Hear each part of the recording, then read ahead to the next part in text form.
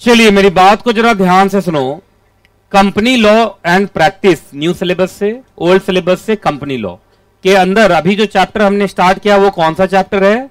Buy back of securities. ये ना, एक बार चैप्टर का नाम लीजिए। एक बार और। एक बार और।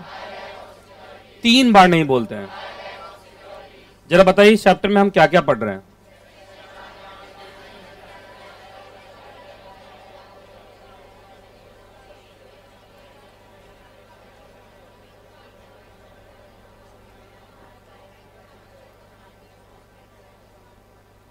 पढ़ लिया? अब ध्यान से सुनते जाना। सेक्शन कौन कौन से हैं? रूल कौन सा? जैसा रूल वैसा फॉर्म नंबर। फॉर्म नंबर का नमन क्लेचर क्या होगा? एस एच है ना? चलिए, अब ध्यान से सुनते रहो जो मैं बोल रहा हूँ। एकदम शांति से। सबसे पहले बायबैक क्या होता है तो तुम लोग को बताया था, बहुत ही आसान है। क्योंकि बायबैक ऑफ़ सिक्योरिटीज बोलते हैं पर सिक्योरिटीज का मतलब यहाँ पे इक्विटी शेयर है। क्या है? इक्विटी शेयर बताया था प्रेफरेंस शेयर का भी बायबैक होता है रिडेम्पशन के नाम से। बॉन्ड का भी बायबैक होता है रिडेम्पशन के नाम से। है ना? सारे के सारे जितने भी सिक्योरिटीज हैं, सबका रिडेम्पशन होता है, सबका बायबैक होता है। पर बायबैक वर्ड किसके लिए? जनरली इक्विटी शेयर्स के लिए। किसके लिए? इक्विटी क्योंकि शेयर दो तरीके के होते हैं equity share and preference share preference share का तो रिडेम्पशन होता है। बचा कौन? इक्विटी शेयर से। तो बायबैक वर्ड किसके लिए इस्तेमाल होता है? इक्विटी शेयर्स के लिए। अब जरा ध्यान से सुनिए आप। बायबैक बहुत आसान था, मैंने बताया था आप लोग को। बायबैक का मतलब खरीदना और उसके बाद लगा बैक बैक का मतलब वापस खरीदना। तो वापस तो वही खरीदेगा जो बेचा होगा। बैक का मतलब वापस ना। तो वापस तो वही खरीदेगा जिसने बेचा होगा। एक बात बताइए इक्विटी शेयर का जन्म किसके पास होता है? कंपनी के पास। कंपनी ने ही शेयर बेचा।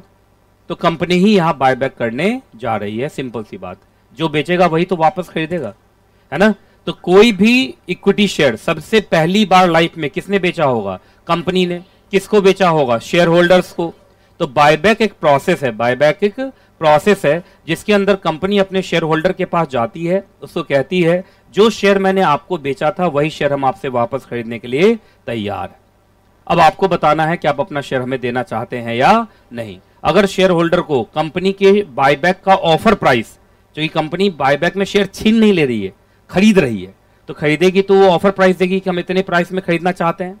अगर कंपनी का ऑफ़र प्राइस शेयर होल्डर्स को पसंद आता है तो फिर शेयर होल्डर कंपनी को शेयर वापस करने के लिए तैयार हो जाते हैं। कंपनी उस शेयर का बायबैक करके फाड़ के फेंक देती है।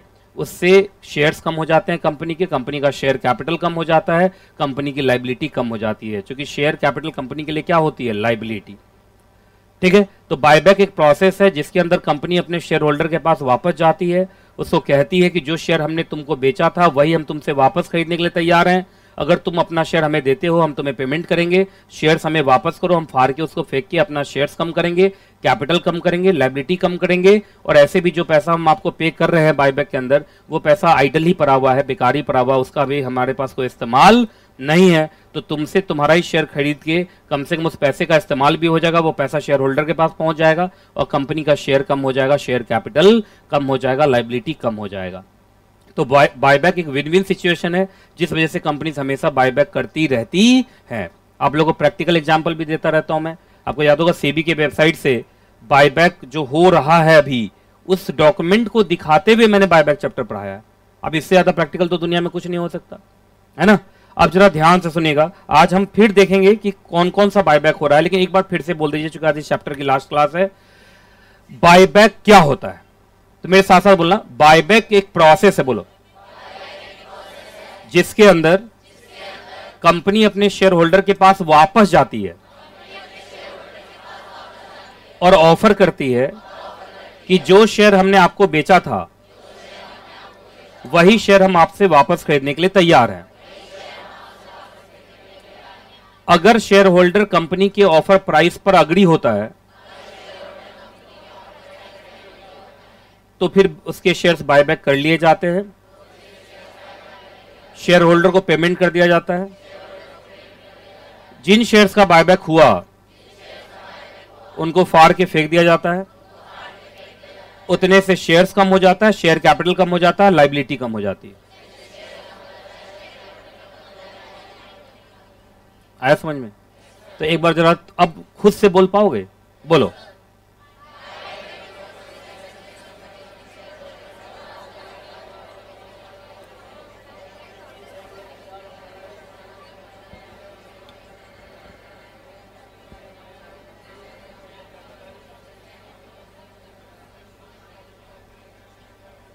ठीक है?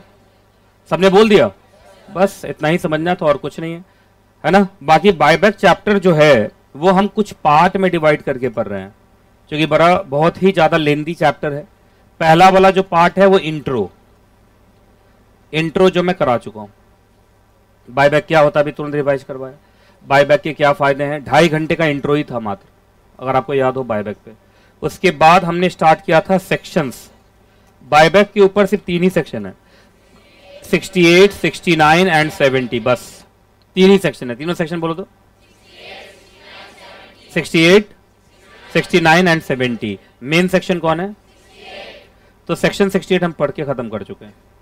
अगर आपको याद हो सेक्शन 68 हम लाइन बाय लाइन भी पढ़े उसके ऊपर प्रैक्टिकल क्वेश्चन भी हमने किया था। और काफ़ी टफ प्रैक्टिकल क्वेश्चन ने किया था जिसका आंसर 60 लाख आया था। याद है? चलिए जी तो आज हमें 69 पढ़ना है। 70 पढ़ना है ये दो सेक्शन बच गए हैं। आज मैं 69 एंड 70 पहले कंप्लीट कराऊँगा। उसके बाद, जल्दी बताओ उसके बाद क्या है? इसके बाद इसी से जुड़ा हुआ क्या था? प्रैक्टिकल क्वेश्चंस जो हम कर चुके मुझे लगता है तीन क्वेश्चन हमने किया था। एक सॉल्व था, दो अनसॉल्व था। याद है? तो ये भी हमारा हो चुका है। उसके बाद बताओ। केस लॉ आज हमें करना है। और बताओ। और सबसे भयंकर जो है, वो है प्रोसीजर प्रोसीजर तो वही बच्चा कर पाएगा जो शुरू से पढ़ रहा है। है ना? प्रोसीजर के अंदर भी अगर आपको याद हो प्रोसीजर फॉर बायबैक में लिस्टेड कंपनी के लिए अलग है और अनलिस्टेड के लिए अलग है। है ना? लिस्टेड के लिए सेबी का रेगुलेशन लगेगा अनलिस्टेड के लिए सेंट्रल गवर्नमेंट का रूल्स लगेगा। ये प्रोसीजर वाला पार्ट में तीन चार घंटे का टाइम लग जाता है।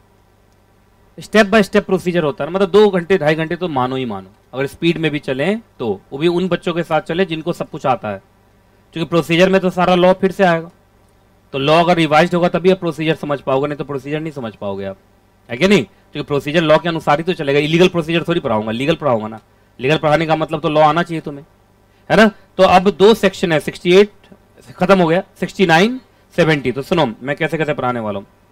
सबसे पहले सिक्सटी नाइन उठा रहा हूँ, फिर सेवेंटी फिर केस लॉस केस लॉस के साथ कुछ मिसलेनियस चीज़ें भी हैं, वो भी पढ़ेंगे। और उसके बाद मैं ब्रेक करूँगा। ब्रेक के बाद क्या स्टार्ट करेंगे? प्रोसीजर ब्रेक से पहले सारी कहानी खत्म कर लेता हूँ। ब्रेक के बाद सिर्फ़ प्रोसीजर सिर्फ़ प्रोसीजर ही चलता रहेगा पूरा। तो चलिए शुरू करें। कहाँ से पढ़ना बताओ? Section number sixty nine sixty eight खत्म। चलो जी, यहाँ से पढ़ना ना? चलो हेडिंग बोलो ज़ोर से। जो नहीं बोल बेवकूफ़ है। इसको शॉर्ट फॉर्म में हम सी आर आर बोलते हैं। चलो एक बार और बोलो। 68 में थोड़ा वापस जाना पड़ेगा। अब जरा ध्यान से सुनो, इधर देखो इधर देखो। आपको याद होगा, जब कंपनी बायबैक करती है तो बायबैक करने के लिए उसको पैसे खर्च करने होते हैं। काफ़ी पैसा खर्च होता है बायबैक में। तो कंपनी पैसा कहाँ से लाती है? कंपनी का source of fund for buyback तीन जगह से आता है। या तो कंपनी कहाँ से उठा सकती है? या कंपनी कहाँ से उठा सकती है? Security premium account. जो नए बच्चे हैं, उसको लगेगा स्पा में जाकर पैसा लेके आएँगे। मैनिक्योर, पेडिक्योर कराएँगे, ऐसा नहीं है। स्पा का मतलब सिक्योरिटी प्रीमियम अकाउंट और थर्ड ये ना तो ये तुम लोग को याद है? तो जल्दी बताओ बायबैक करने के लिए कंपनी कहाँ कहाँ से पैसा उठाती है? ठीक है, चलिए जी, एक एग्ज़ाम्पल लाइव एग्ज़ाम्पल देखने की कोशिश करते हैं। जाते हैं सेबी के वेबसाइट पे। देखते हैं पिछले बार के मुकाबले आज कुछ और बढ़ा है कि नहीं? अच्छा तुम लोग पहले से पता है बढ़ गया है, कुछ और बायबैक सेबी है ना बाय बैक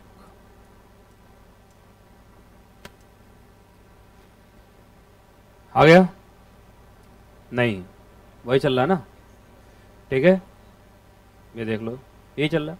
चलो बताओ, कौन से कंपनी का उठाओ ये सारी कंपनी का बायबैक चल रहा है अभी। वी आर एल या स्पोर्ट किंग जैसा तुम लोग बोलोगे, ऐसा करूँगा। हिंदुजा। हिंदुजा का नाम जानते हो? अशोक लीलैंड ट्रक। हिंदुजा है ना? किसका देखोगे? यार वेल्सपन है, अभिरामी है, सॉफ्टेल है, जगन है, टिप्स है, टिप्स। टिप्स का तो नाम सुने होगे? एक्चुअली देखो, ये सब ना सिर्फ़ पब्लिक अनाउंसमेंट होगा अभी। मुझे लगता है टिप्स का थोड़ा टाइम हो गया ना इसके और भी डॉक्यूमेंट आ चुके होंगे। देखो, जैसे ड्राफ्ट लेटर ऑफ़ ऑफ़र भी आ चुका है पब्लिक अनाउंसमेंट भी लेटर ऑफ़र भी आ चुका है। तो अगर हम ये देखते हैं ना तो आज हमारे प्रोसीजर में यही सब वर्ड है। यही, पहले पब्लिक अनाउंसमेंट आता है फिर डी एल ओ आता है, फिर लेटर ऑफ़ ऑफ़र उधर पढ़ाता चलूँगा, इधर मैच कराता चलूँगा। और थोड़ा लेट लोगे तो और प्रोसेस हो चुका होगा, और डॉक्यूमेंट दिखेगा। जैसे ये तो दिसंबर 20 को आ चुका ना तो इसका तो बायबैक खत्म हो गया होगा। इसके सारे डॉक्यूमेंट मौजूद हैं। तो सारे डॉक्यूमेंट जिसका मौजूद है, वो देखो। क्योंकि अगर तुम इसका देखते हो तो इसका तो ये तो कल फरवरी वन को हुआ ही है।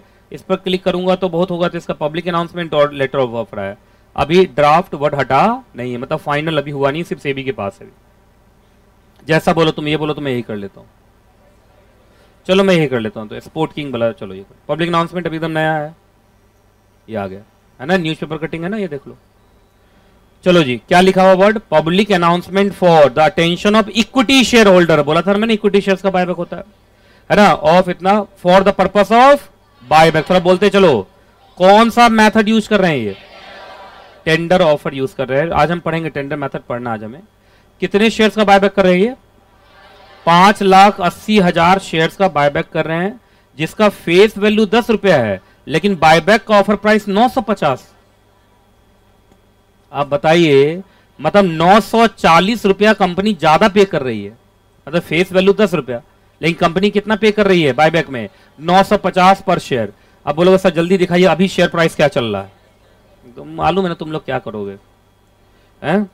अभी देखो जरा इस कंपनी का शेयर प्राइस क्या चल रहा है।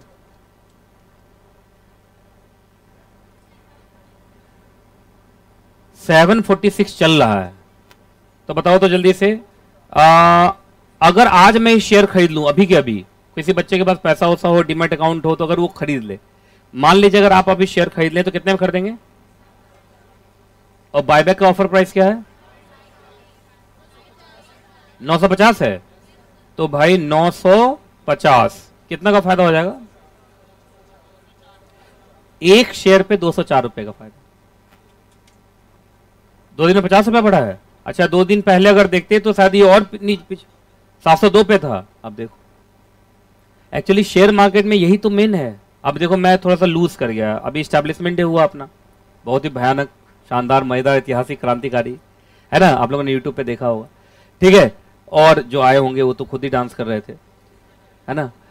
उसके चक्कर में क्या हुआ कि जो अदानी का शेयर का दाम अभी डाउन चल रहा है ना, कुछ शेयर्स मुझे खरीद लेना था, मैंने खरीदा नहीं और फिर वापस बढ़ गया अगर अब मैं खरीदूँगा तो अभी थोड़ा सा महँगा मिलेगा, मुझे दो दिन पहले तक बहुत सस्ता था। अब मेरे से गड़बड़ हो गया मामला। मैं यहाँ स्टैब्लिशमेंट के चक्कर में उधर वो अपना स्टैब्लिशमेंट मज़बूत कर लिया। नहीं समझे आप? शेयर मार्केट में यही काम चलता है। जितना जल्दी डिसीज़न मेकिंग करेंगे, उतना फ़ायदा होगा। अभी भी दो सौ का फ़ायदा है। जैसे जैसे लोगों में न्यूज़ जाता जाएगा, ये और बढ़ता जाएगा। शेयर का दाम क्यों बढ़ेगा? क्योंकि ज़्यादा से ज़्यादा लोग शेयर खरीदना चाहेंगे। और जब शेयर खरीदना चाहेंगे तो शेयर का दाम बढ़ने लगेगा। लालच तो सबको है ना बायबैक में। तो दो सौ का फ़ायदा है। अच्छा जरा बताइए इस कंपनी को कितने पैसे खर्च करने हैं? कितने शेयर से कितने? पाँच लाख? पाँच लाख अस्सी हज़ार शेयर का बायबैक होना है। और एक शेयर का दाम कितना कंपनी दे रही है? नौ सौ पचास। बताओ इस कंपनी को कितना खर्चा हो जाएगा इस बायबैक में? नहीं बहुत ज़्यादा नहीं आंसर बताओ। पचपन करोड़ दस लाख। सुनो, पचपन करोड़ अब दस लाख छोड़ो, मैं सीधा पचपन करोड़ ले देता हूँ। चलेगा? पचपन करोड़ रुपया ये कंपनी कहाँ कहाँ से लाएगी?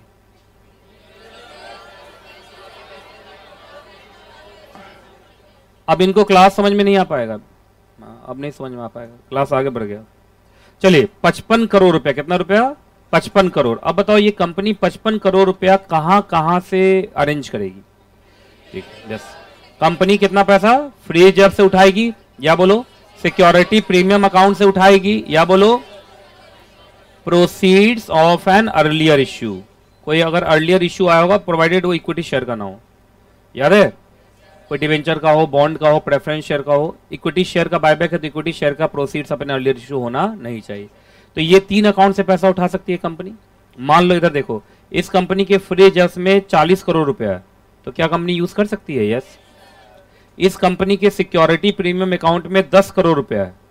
क्या कंपनी यूज़ कर सकती है? यस तो 40 दस 50 and proceeds of an earlier issue से कंपनी को कितना उठाना है? पाँच करोड़। अब बताइए अच्छा ज़रूरी कि इसमें इतने इतने पैसे ही थे इससे ज़्यादा भी हो सकते हैं कंपनी इतना इतना उठा रही है कितना पैसा निकाल ली फ्री जब से एसपीए से कितना निकाल ली और प्रोसीड्स अपने अर्लियर इशू से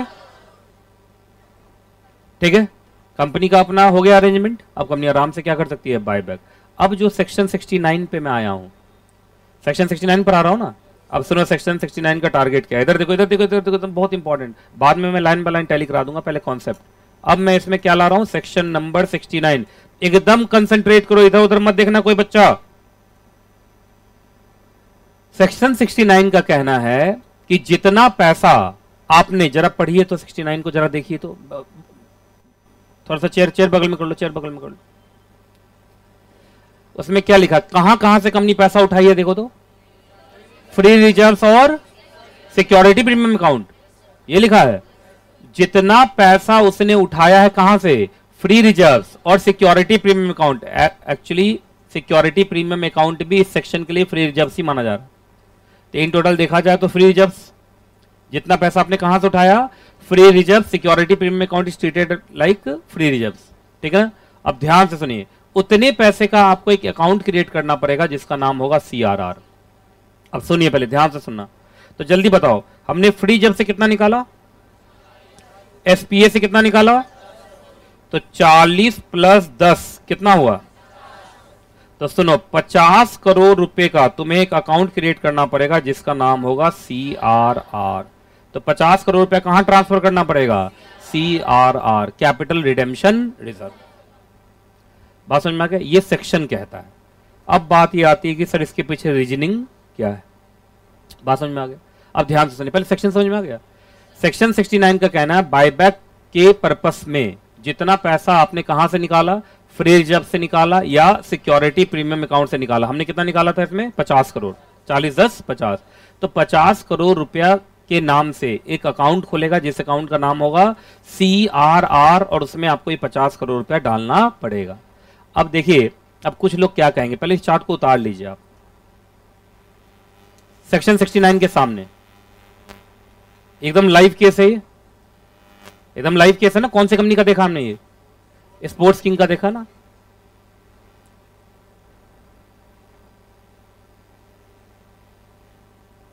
थोड़ा स्पीड में कर लीजिएगा। इसको हम बोलते हैं टोटल कंसिडरेशन क्या बोलते हैं? टोटल बायबैक कंसिडरेशन कंपनी अगर बायबैक करेगी तो उसमें कितना कंसिडरेशन पे करेगी शेयर होल्डर को? पचपन crore. Total buyback consideration is 55 crore और ये अरेंज किया जा रहा है तीन अकाउंट से। फ्री जब से निकाला जा रहा है चालीस करोड़ एसपीएस से निकाला जा रहा है दस करोड़ प्रोसीड्स अपने अर्लियर इशू से निकाला जा रहा है पाँच करोड़। पर सीआरआर आपको कितने का बनाना है? सिर्फ़ पचास करोड़ का। क्यों? क्योंकि जितना पैसा आपने कहाँ से उठाया फ्री रिज़र्व और एसपीए सिर्फ़ उतना ही का सीआरआर क्रिएट करना पड़ता है। Proceeds of an earlier issue वाले का कोई मतलब नहीं। ठीक है? याद रहेगा? थोड़ा जल्दी से उतार लो, फिर मैं बताता हूँ। ये सेक्शन नंबर 69 का एग्ज़ाम्पल है। तो this company had to create a CRR of rupees 50 crore. 50 crore क्यों? 50 crore is a combination of what free reserve plus S P A याद आएगा एकदम सिंपल है। तो जब भी कंपनी सेक्रेटरी बनना और अपने कंपनी में बायबैक करना तो बायबैक के पैसे को अरेंज करते वक्त जितना पैसा फ्री रिज़र्व से निकालना या एसपीए से निकालना, उतने पैसे का तुरंत क्या क्रिएट कर देना? सी आर आर क्रिएट कर देना। जिससे कि बैलेंस शीट आपका क्या रहे? बैलेंस रहे। अब मैं तुम्हें बताऊँगा, कुछ बच्चे बोलेंगे अब, उसका जवाब मैं दे देता हूँ। ये कर लिया तुम लोगों ने। चलो, अब कोई बच्चा बोलेगा कि, सर, अगर आप यहाँ कहते हैं कि, सर, जितना पैसा आपने निकाला फ्री जब्स और एसपीए से, उतने का एक और अकाउंट क्रिएट करना पड़ेगा और उसमें इतना पैसा डालना पड़ेगा तो ये बायबैक में तो ज़्यादा खर्चा हो जाएगा कंपनी का। मैं बता रहा हूँ कैसे? पचपन करोड़ रुपया तो कंपनी शेयर होल्डर को देगी। प्लस आप बोल रहे हैं, जितना पैसा उठाओगे कहाँ से? फ्री जब्स और एसपीए से, उतना पैसा तुम्हें सीआरआर में भी डालना पड़ेगा। तो 55 करोड़ कर दिया बायबैक में खर्च, और इतना पैसा डाल दिया सीआरआर में। तो कंपनी ने इसका मतलब कितना हो गया? ये तो 105 करोड़ होगा, तब जाके कंपनी बायबैक कर पाएगी। तो कहा, सर, जितना पैसा फ्री जब से निकाला, जितना एसपीएस से निकाला, उतना डालना ही है सीआरआर में। तो फिर निकाला क्यों? बात समझ में आ रहा है? आप बात नहीं समझ पा रहे जो मैं बोलना चाह रहा हूँ। ये अजीब बात है कि नहीं बात है? आप बोल रहे कि जितना पैसा आपने कहाँ से निकाला? फ्री जब से और एसपीएस से। उतने ही पैसे का एक अकाउंट बना के आपको सीआरआर में उतना पैसा डालना पड़ेगा। तो उतना पैसा डालने के लिए उतना पैसा होना भी चाहिए। तो इसका मतलब हमारे पास 105 करोड़ होगा, तभी तो सब कुछ हो पाएगा। 55 करोड़ हम शेयर होल्डर्स को देंगे बाय बैक में। और बाकी पैसा हम डालेंगे कहा? सीआरआर में। तो सुनो जरा ध्यान से बड़ा मुश्किल नहीं, अजीब बात नहीं, मज़ाक नहीं चल रहा है। एक बात बताइए, कह रहा है, जितना पैसा तुम निकालोगे for the purpose of buyback तो बायबैक में हम खर्च करने के लिए निकाले हैं ना? बायबैक में हम शेयर होल्डर को देने के लिए निकाले हैं ना? आप कह रहे उतना ही पैसा सीआरआर में डालो तो फिर हम निकाले क्यों भाई? ये अजीब बात नहीं है।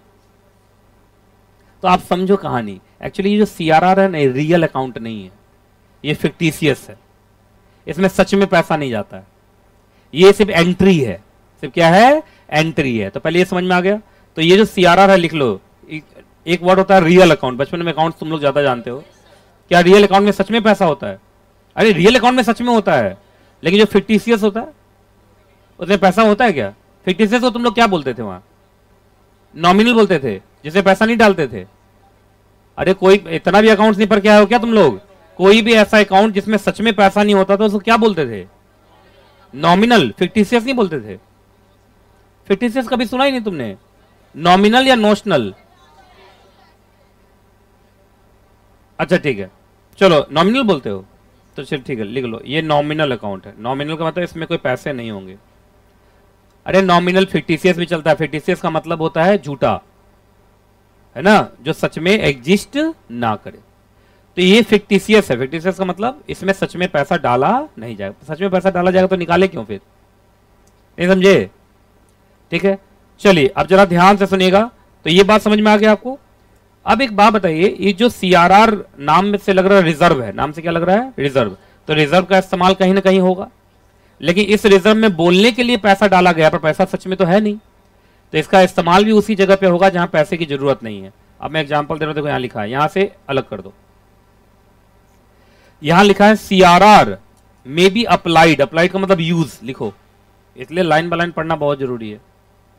अप्लाइड का मतलब यूज़ ये सिर्फ़ यूज़ हो पाएगा ओनली इन बोनस इश्यू और तुमको याद होगा बोनस इश्यू जो होता है, उसमें पैसा इन्वॉल्व नहीं होता है क्योंकि वहाँ शेयर मुफ़्त में दिए जाते हैं। तो ऐसे अकाउंट का इस्तेमाल, जिसमें पैसा नहीं है, ऐसे जगह करवाया है जहाँ पैसे की ज़रूरत नहीं है। क्लियर है कि नहीं क्लियर है? पहले बताइए आप। तो इसलिए बोला सीआरआर का इस्तेमाल बस एक जगह हो सकता है। बोलो कहाँ? ओनली इन बोनस इश्यू क्योंकि और किसी जगह आप इस्तेमाल करोगे तो इस्तेमाल करोगे तो पैसा रहेगा ना। अब पैसा तो है नहीं इसमें। तो कैसे इस्तेमाल होगा?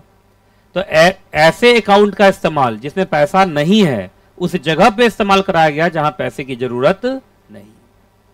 क्लियर है? तो कभी बोनस इश्यू होगा तो सीआरआर को राइट ऑफ़ कर देना उससे। किसे बोनस इश्यू से। सीआरआर खत्म हो जाएगा। बनाना इसलिए होता है। देखो, अब इसमें ज़्यादातर आप अकाउंट्स के जो टीचर होंगे ना जो अकाउंट्स पढ़ाते हैं प्रॉपर अकाउंट्स उनसे आप पूछिएगा, वो आपको डिटेल में बताएँगे, ये बैलेंस शीट को टैली करने के लिए होता है। क्योंकि कभी कभी क्या होता है, जितना आप बायबैक नहीं करते हैं, उससे ज़्यादा पैसा निकल जाता है बायबैक में। क्योंकि बायबैक में शेयर तो डाउन होता है फेस वैल्यू से, पर पैसा निकल जाता है मार्केट वैल्यू पर। तो तुम्हारा जो फ्री रिज़र्व वाला साइड है ना, वो हिल जाता है। तो इसलिए उसको मेंटेन करने के लिए करते हैं। खैर, वो डिटेल में आपको अकाउंट्स के टीचर समझाएँगे। सेक्शन 69 दो बातें कहता है, मैं रटवा दे रहा हूँ सबको। समझा चुका हूँ, आधा घंटे से समझा ही रहा हूँ। अब उसको रट भी लो, चुके एग्ज़ाम में लिखना है। सेक्शन 69 का कहना है, जितना पैसा बायबैक में आप निकालेंगे फ्री रिज़र्व से और एसपीए से, उतने ही पैसे का आपको क्या क्रिएट करना है? एक अकाउंट जिसका नाम क्या होगा? सी आर आर और मैं अपने तरफ़ से जोड़ दिया C R R real account नहीं है। इसमें सच में पैसा डाला नहीं जाएगा। अब दूसरी लाइन बता रहा हूँ। अब सच में पैसा है नहीं तो इस्तेमाल ऐसे जगह करोगे जहाँ पैसे की ज़रूरत ना हो। तो पैसे की ज़रूरत कहाँ नहीं होती है? बोनस इश्यू में। क्योंकि बोनस इश्यू में शेयर्स मुफ़्त में दिए जाते हैं तो वहाँ पैसे का कोई इन्वॉल्वमेंट होता ही नहीं है। तो सीआरआर का बस एक इस्तेमाल है that is bonus issue bonus issue जब होगा कंपनी में तो उसी में इस्तेमाल दिखा के इसको राइट ऑफ़ कर देना अकाउंट को खत्म कर देना। क्लियर है कि नहीं क्लियर है? याद रहेगा? बस इतना ही कहानी था। सेक्शन सिक्सटी खत्म। अब हमारे सेक्शन नंबर सेवेंटी पे। आ जाओ हेडिंग बोलो। जिन बच्चों की फ़र्स्ट क्लास है, उनको कम से कम सिक्सटी नाइन सेवेंटी ये सब तो समझ में आएगा? उतना तो समझ में आ ही रहा है। सेवेंटी बोलो। हेडिंग देखो बच्ची नहीं बोल रही, देखो। बोलो।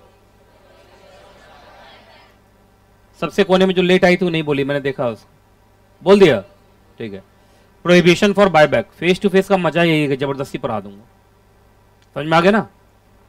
कहा हमें ज़बरदस्ती पसंद नहीं केस करेंगे आप पर। कोई बात नहीं, कर लो, कोई दिक्कत नहीं है। टीचर को इतना इज़्ज़त तो इस देश में है कि पढ़ाने के लिए थोड़ा बहुत ज़बरदस्ती कर सकता है। चलिए जी, अब मैं आपको वो सिचुएशन बताने जा रहा हूँ जहाँ कंपनी बताइए नेगेटिव लिस्ट है पॉजिटिव है? नेगेटिव अगर 70 में तुम फॉल कर गए तो तुम बाय बैक नहीं कर पाओगे। ठीक है? तो कुछ कंपनीज़ ऐसी हैं जिनको मना किया गया है, क्या करने से? बाय बैक करने से, है ना? सेक्शन नंबर 70 याद रहेगा? चलो आ जाओ। अब देखो, इसका लैंग्वेज देखोगे तो शुरू से नेगेटिव किया हुआ नो अरे, शुरू से नेगेटिव है ये। नो कंपनी का मतलब ये नेगेटिव लिस्ट है। क्या है? नेगेटिव लिस्ट है प्रोहिबिटेड लिस्ट है। मतलब ये कंपनीज़ बायबैक नहीं कर पाएँगे। अब देखिए कौन कौन सी कंपनीज़ है। कोई भी कंपनी अपनी सब्सिडरी कंपनी के थ्रू बायबैक नहीं कर सकती। अब इसका क्या मतलब है सुनिए इधर देखिए इधर देखिए इधर देखिए।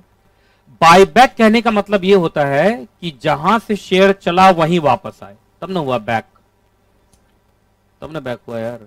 अच्छा तुम घर से आज कोचिंग आए हो। अब कोचिंग से मालूम चला चूँकि वीक चल रहा है कुछ।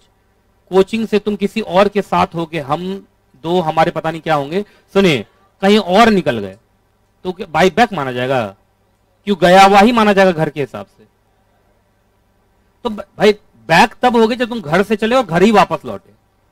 सही बोल रहा हूँ कि नहीं बोल रहा हूँ? तो यहाँ पे कंपनी ने शेयर बेचा तो कंपनी के पास शेयर वापस आएगा, तब ना वो बायबैक माना जाएगा। अच्छा कंपनी ऐसे है, इधर देखो इधर देखो, शांति से सुन लेना, बाद में पूछोगे, सच्चा भी पूछ लो। देखो इधर, मैं बोल रहा हूँ इस बच्चे को ये देखो, ये शेयर होल्डर है मेरा। मैं इसको बोल रहा हूँ कि तुम अपना शेयर मेरे सब्सिडरी को दे दो, ये सब्सिडरी है। ठीक है? तुम मेरा वाला शेयर मेरे सब्सिडरी को दे दो पेमेंट मैं कर दे रहा हूँ। पेमेंट मैं कर दे रहा हूँ। तो ये थोड़ी हुआ यार। अगर इसके हिसाब से देखें तो इसे बाय हो गया। बस इसने पेमेंट नहीं किया। पेमेंट मैंने कर दिया। पेमेंट से क्या फ़र्क पड़ता है? शेयर वापस कहाँ पहुँचा? ये इंपॉर्टेंट है। तो ये वापस थोड़ी पहुँचा तो एक तीसरे जगह पहुँच गया। नहीं समझ में आया। मैंने दिया इनको, इन्होंने दिया इनको। अरे भाई, मैंने इनको दिया, ये मुझे वापस देते, तब ना बायबैक होता। है तो सब्सिडरी कंपनी के थ्रू बायबैक चलेगा? नहीं। बायबैक का मतलब आपसे शेयर गया, आपके पास ही वापस आना चाहिए। पहले ये समझ में आ गया? आगे। इन्वेस्टमेंट कंपनी के थ्रू भी बायबैक नहीं चलेगा। इन्वेस्टमेंट कंपनी का मतलब फिर वही एग्ज़ाम्पल सेम एग्ज़ाम्पल तुम मेरा शेयर मेरे इन्वेस्टमेंट कंपनी को दे दो पेमेंट मैं कर देता हूँ। ये सब चलने वाला नहीं। बायबैक का सिंपल सा इंग्लिश है भाई इंग्लिश का हिंदी। जहाँ चला वहीं वापस आए, तब ना बैकवर्ड चलेगा। तो सुनो, दो हो गया। कोई भी कंपनी अपने सब्सिडी के थ्रू बायबैक नहीं कर सकती, कोई भी कंपनी अपने इन्वेस्टमेंट कंपनी के थ्रू बायबैक नहीं कर सकती। याद रहेगा? चलिए जी थर्ड नंबर पे। अब देखो ये कंपनी जब आप बायबैक करते हैं तो दुनिया को क्या इंप्रेशन देते हैं? तुम्हारे पास बहुत पैसा है। लुटा रहे हैं पैसा। है ना? लुटा ही रहे ना? अब इस कंपनी को नहीं देख रहे हो, जो कंपनी अभी हमने देखा। कौन सी कंपनी थी? स्पोर्ट्स किंग इधर, कितना पैसा खर्च कर रही है बायबैक में? पचपन करोड़। आज ये बताइए शेयर्स का बायबैक करना मैंडेटरी तो है नहीं? कंपनी अपनी मर्ज़ी से कर रही है। इसका मतलब तुम दुनिया को ये इंप्रेशन दे रहे हो कि पचपन करोड़ तुम्हारे पास है और उसकी ज़रूरत तुम्हें नहीं है। तभी तो तुम उसी पैसे से शेयर खरीद के फाड़ के फेंक रहे हो शेयर शेयर फाड़ के फेंकना मैंडेटरी थोड़ी है। ये तो अपनी मर्ज़ी से कर रहे हैं आप। तो अपनी मर्ज़ी से कर रहे हो, पैसा लुटा रहे हो। अरे भाई, जो तुम्हारी लाइबिलिटी है, पहले उसको पे ऑफ़ करो ना। सही बोल रहा हूँ कि नहीं बोल रहा हूँ? इस बात पर मेरे पापा की एक बात बड़ी याद आती है। और तुम लोग जो हो, तुम लोग को भी माता पिता की कभी कभी बात बुरी लगती होगी, मुझे भी लगती थी, इस एज में ऐसे ही होता है। ऐसे तुम लोग से एक डेढ़ साल ही ऊपर नीचे हूँ मैं। अगर मैं कोरोना का पीरियड हटा दूँ तीन साल और सैटरडे संडे हटा दूँ, है ना?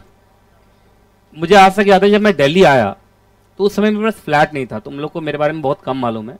जिस ऑफ़िस में मैं रहता था, मैं जिस ऑफ़िस में मेरा कोचिंग था, उसी ऑफ़िस के एक रूम में मैं रहता भी था।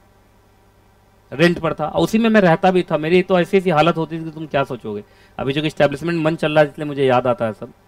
और मुझे याद है कि स्टाफ भी नहीं होता था, स्टाफ आता था नौ आठ बजे और मेरी से क्लास होती थी सात बजे। तो मैं जल्दी से गेट खोल के और झाड़ू मार के अपने ऑफ़िस का खुद से अपने रूम में चला जाता था कि कोई बच्चा अगर आए सुबह सुबह तो उसको मैं झाड़ू मारते हुए ना दिखूं। ठीक है, एक बार क्या हुआ, मैं थोड़ा लेट उठा। अब लेट उठा और बच्चा एकदम आने आने पर था। तो मैं जल्दी से नहाया और नहा के टॉवल ही मतलब लगभग मैं क्या बोलूँ, मैं सुनो, उतने में ही था लगभग, उतने में एक बच्चा नॉक कर दिया गेट। क्योंकि टाइम हो गया साढ़े सात बजे क्लास होती थी। अब मैं क्या करूँ? मैं दस मिनट पहले चुपचाप खड़ा रहा कि बच्चा वापस जाए नीचे। वो वापस गया तो दौड़ते दौड़ गया गेट खोल के भाग के अंदर आ गया। तब वो जब वापस आया तो उसका गेट खुला हुआ मिला फिर मैं तैयार हुआ होकर बाहर निकला। तो ऐसा भी दिन मैंने देखा है। तो मैं उस समय रेंट पे रहता था। और मतलब रेंट पे जिस ऑफ़िस में था उसी ऑफ़िस में एक रूम में रहता था। मैं बच्चे को क्या मालूम है किस रूम, रूम में रह रहा हूँ। तो ये कहानी था। तो अब उस केस में क्या हुआ कि मैंने कार का बड़ा शौक था मुझे उस समय। तो मैंने एक कार खरीदना चाहा। मेरे पापा ने ऐसा बात बोला, मुझे इतना बुरा लगा। उन्होंने फ़ोन पे क्या, बोला, घर तो है नहीं, तुम्हारे पास कार खरीद रहे हो? मुझे ये बात बहुत, आप समझ रहे हो, आप अगर उस समय एज में ऐसा लगेगा कि हम अपने पैसे से हैं, आपको क्या दिक्कत है? आप क्यों कमेंट बाजी करते रहते हैं? कभी कभी माता पिता की बातें ना टॉन्ट की तरह लगती हैं। नहीं, और उन्होंने मुझे नहीं बोला, किसी और को बोला कि मेरा बेटा देखिए पागल हो चुका है और ये ऐसी ऐसी बातें कर रहे हैं। तो और बुरा लगता है फिर। है ना? कोई और आपको फ़ोन करके बोले कि तुम बेवकूफ़ हो क्या? तुम्हारे पापा बोल रहे थे, घर तो रहने के लिए है नहीं, कार खरीद रहे हो। रखोगे कहाँ कार? मुझे बहुत बुरा लगा। लेकिन आज मुझे ऐसा लगता है कि नहीं, पहले घर चाहे एक ही रूम का क्यों ना हो, पहले अपना घर होना चाहिए, उसके बाद ये सारी चीज़ें होनी चाहिए। सही बोल रहा हूँ कि नहीं बोल रहा हूँ? लेकिन उस समय मैं तुम्हारे एज का था, खून गर्म। पापा बोले, इधर से खून उबाल मार रहा है, इधर से खून उबाल मार रहा है। पापा की बातें बुरी लग रही हैं। इस, इन सब एज में ज़्यादा इज़्ज़त का जाता है लोगों का। जिसमें इज़्ज़त है नहीं। वो क्या बोलते हो तुम लोग? ईगो ईगो प्रॉब्लम खूब होता है तुम। अरे ईगो होने के लिए कुछ होना भी तो चाहिए। तुम लोग का बैलेंस शीट बना दूँ ऑलरेडी टैलिड है ज़ीरो बाय ज़ीरो तुम्हारे नाम का बैलेंस शीट तो ज़ीरो बाय ज़ीरो ही होगा अभी। वो जो भी वो माता पिता का है ना। लेकिन ईगो लेवल तुम्हारा अगर चेक हो तो आसमान छू रहा है। और हम लोग देखिए, इतना बैलेंस शीट मज़बूत बनाने के बावजूद अब, कहते हैं ना, जिस पेड़ पौधे पे फल लग जाते हैं, वो धीरे धीरे झुकने लगता है। सही बोल रहा हूँ कि नहीं बोल रहा हूँ? तो वही बात यहाँ पर है। इस कंपनी को भी मेरे पापा की ज़रूरत है। है ना? कि मेरे पापा टॉन्ट मारने में नंबर वन है। अब देखिए बहुतों को लगता होगा उनके माता पिता टॉन्ट मारते लेकिन उनका टॉन्ट भी प्यार होता है और सीख होता है। हम उस समय समझ नहीं पाते, बाद में समझ में आता है। अब देखिए, ये कंपनी क्या कर रही है? देखो इधर देखो इधर, देखो। ये कंपनी बायबैक करना चाहती है। क्या इंप्रेशन दे रही है दुनिया को? बहुत पैसा मेरे पास। और हालात देखो इसका, हालात। इधर देखिए। डिपॉजिट का रीपेमेंट होना था और उसके ऊपर क्या होना था? इंटरेस्ट पेमेंट डिपॉजिट होता है, जैसे कंपनी एफडी लेती है तो एफडी को वापस करना होता है और एफडी के ऊपर क्या देना पड़ता है? इंटरेस्ट मालूम चला कंपनी उसमें क्या की हुई है? बताइए। मतलब जो तुम्हारी मैंडेटरी लाइबिलिटी है, वो तो तुम पूरा नहीं कर रहे और यहाँ पैसा उड़ा रहे हो। अगला, और सुनिए। डिबेंचर का रिडेम्पशन होना था, नहीं किए। प्रेफरेंस शेयर का क्या करना था? रिडेम्पशन नहीं किए। रिडेम्पशन वर्ड दोनों के लिए। किसके लिए? डिबेंचर और प्रेफरेंस शेयर्स ठीक? तो डिपॉजिट के ऊपर दो वर्ड बोला। बोल कौन कौन रीपेमेंट नहीं किया इंटरेस्ट नहीं दिया। रिडेम्पशन दो चीज़ों का। डिबेंचर का रिडेम्पशन होना था, नहीं किया। प्रेफरेंस शेयर्स का रिडेम्पशन होना था, नहीं किया। अब बताओ ये सब गलत काम हो रहा है कि नहीं हो रहा? अगला शेयर होल्डर को डिविडेंड देना था। तुमने डिविडेंड डिक्लेयर होने के बावजूद नहीं दिया। तुमने लोन लिया था बैंक से, उसका क्या करना था? रीपेमेंट उसके ऊपर क्या पे करना था? इंटरेस्ट अब बताइए, ऐसी ऐसी लाइबिलिटी पर डिफ़ॉल्ट किए हुए हो और यहाँ पैसा उड़ा रहे हो। अरे, पहले इन सबको पूरा करो ना यार। अरे, ये सब में कोई गुस्सा उस्सा हो गया, तुम्हारा वाइंडिंग अप करा देगा? अच्छा नहीं करा देगा? अच्छा बैंक का तुम पैसा वापस नहीं कर रहे हो। बैंक का तुम इंटरेस्ट नहीं दे रहे हो लोन पे। क्या बैंक क्रेडिटर नहीं है तुम्हारा? क्रेडिटर वाइंडिंग अप पिटिशन नहीं लगा देगा। यार, मौत हो जाएगी, तुम्हारे यहाँ पैसा उड़ा रहे हो तुम, है? पहले इनका पैसा वापस करो, उसके बाद बाय बैक होगा। ये मैंने सेक्शन सेवेंटी बोल। रहा कौन बोल रहा है? सेवेंटी तो ऐसी डिफ़ॉल्ट अगर कंपनी में दिखाई दे रही हैं तो उस कंपनी को बायबैक करने नहीं दिया जाएगा। क्या कहा जाएगा? जो 55 करोड़ रुपया बायबैक में खर्च कर रहे हो जिसकी ज़रूरत नहीं है तुम शेयर होल्डर का पैसा वापस ना करो चलेगा। क्योंकि शेयर होल्डर का पैसा वापस करने की ज़रूरत नहीं होती आप चाहो तो वाइंडिंग अप में दो। लेकिन ये सब तो तुमको देना बनता है ना तो उस पचपन करोड़ को यहाँ डाइवर्ट करो और अपना बैलेंस शीट क्लीन करो आई लाइबिलिटीज को खत्म करो। सही बोलना कि नहीं बोलना पहले बताइए आप। तो याद रखिए बोलो तो कौन कौन कौन सी कंपनी को बायबैक करने से मना किया गया? तीन कंपनी पहला इधर देखो इधर देखो इधर देखो, अपने सब्सिडी कंपनी के थ्रू बायबैक नहीं कर सकते, अपने इन्वेस्टमेंट कंपनी के थ्रू बायबैक नहीं कर सकते, और अगर आपने मॉनिटरी डिफ़ॉल्ट किया, कहीं लिख लो एक वर्ड कौन सा वर्ड मॉनिटरी डिफ़ॉल्ट लिखो मॉनिटरी डिफ़ॉल्ट मॉनिटरी डिफ़ॉल्ट में बता ही दिया था। डिपॉजिट है इंटरेस्ट नहीं दिया रिपेमेंट नहीं किया। डिबेंचर है प्रेफरेंस शेयर है, उसका रिडेम्पशन नहीं किया। इक्विटी शेयर होल्डर उसको डिविडेंड नहीं दिया बैंक फाइनेंशियल इंस्टीट्यूशन से लोन लिया, उसको रीपेमेंट नहीं किया, उसका इंटरेस्ट नहीं दिया, ये सारे कौन से डिफ़ॉल्ट है? मॉनेटरी डिफ़ॉल्ट अगर मॉनेटरी डिफ़ॉल्ट सबसिस्ट कर रहा है मतलब चल रहा है तो आपको फिर बायबैक करने नहीं दिया जाएगा। आपको कहा जाएगा, आप इन पर पहले ध्यान दो बायबैक बाद में करना। ठीक है?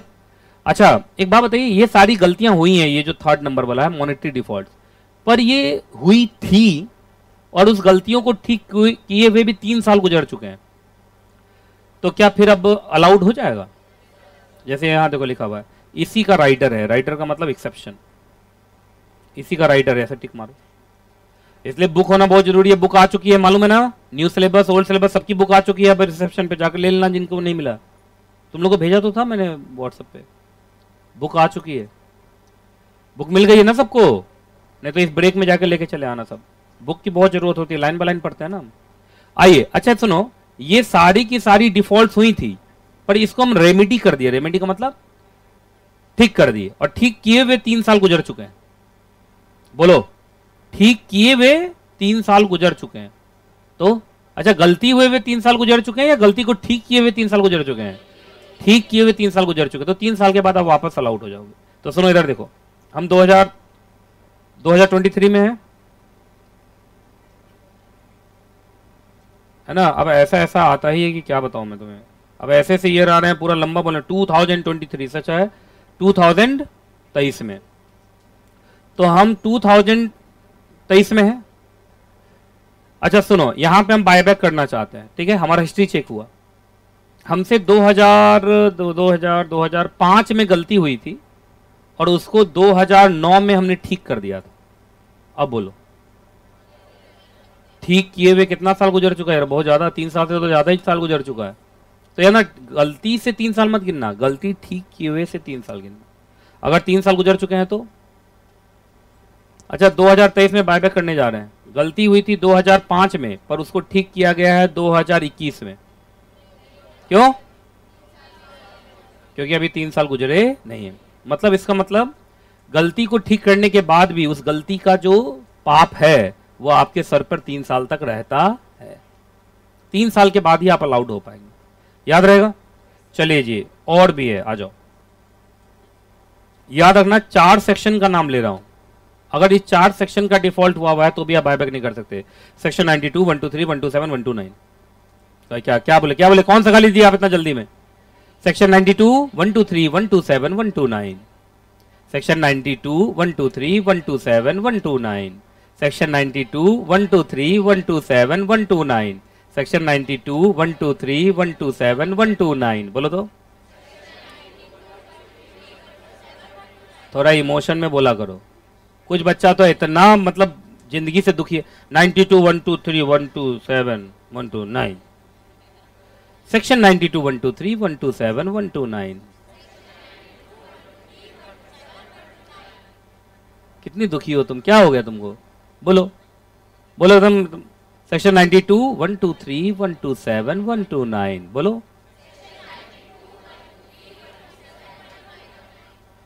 जो नहीं बोल रहा है ना एक अच्छा गाना चल रहा है उसको खो देगा वो। सेक्शन 92 123 127 129 बोलो तो। ए, क्या बात है, है? यो यो है एक बार सारे लोग दम से ज़ोर से बोलो तो। वाह वाह क्या बात। अगर एग्ज़ाम में क्वेश्चन आ जाए और मेरा बच्चा सब एकदम खुश हो गया सेक्शन 92, 123, 127, 129 यो अगर ऐसे कर दिया कहेगा पहला बच्चा ऐसा देखा सीएस में जो खुश होकर लिख रहा है। एक्चुअली ये चार सेक्शन तुम्हें याद हो गए होंगे मुझे लगता है। सेक्शन 92, 123, 127, 129 याद हो गया? अब सुनिए आप। अब इन चारों सेक्शन के अपने अपने चैप्टर्स हैं। चारों सेक्शन के अपने अपने चैप्टर्स हैं अभी चारों सेक्शन में यहाँ क्यों पढ़ाऊँगा? ये सेक्शन तो ये बोल रहा है सेवेंटी कि इन चार सेक्शन का कॉन्ट्रावेंशन हुआ हुआ है तो हम बायबैक आपको नहीं करने दें। तो इन सारे सेक्शंस के अपने अपने चैप्टर्स होंगे। हम वहाँ पे उसके बारे में पढ़ेंगे लेकिन आपको मैं बताऊँ ये चारों सेक्शन सीएस से जुड़ा हुआ है। 92 एनुअल रिटर्न इसमें सीएस साइन करता, आपको मालूम है कंपनी सेक्रेटरी साइन करता। One two three declaration of dividend इसमें भी कंपनी सेक्रेटरी का ही साइन है। Section one two seven punishment to failure to distribute dividend dividend declare करने के बाद डिविडेंड अगर डिस्ट्रीब्यूट ना हो तो उसके लिए कंपनी सेक्रेटरी को भी बहुत बार जेल जाना पड़ सकता है। One two nine balance sheet profit loss account बचपन से जान रहे हो सीएस के साइन के बिना वो वैलिड माना नहीं जाता है। तो ये चार सेक्शन है, इसी अलग अलग चैप्टर्स हैं। जब उस चैप्टर्स में जाएँगे, तब हम पढ़ेंगे। अभी से सेक्शन का नंबर एक बार फिर से बोलिए और आगे बढ़ते हैं। हाँ जहाँ घर पहुँचे, बेटा क्या पढ़े? मम्मी सेक्शन 92 123 127 129 एक थप्पड़ से। हीरो बन रहा, हीरो बन रहा, हीरो बन रहा। है? चलिए तो मुझे 70 पूरा याद हो गया।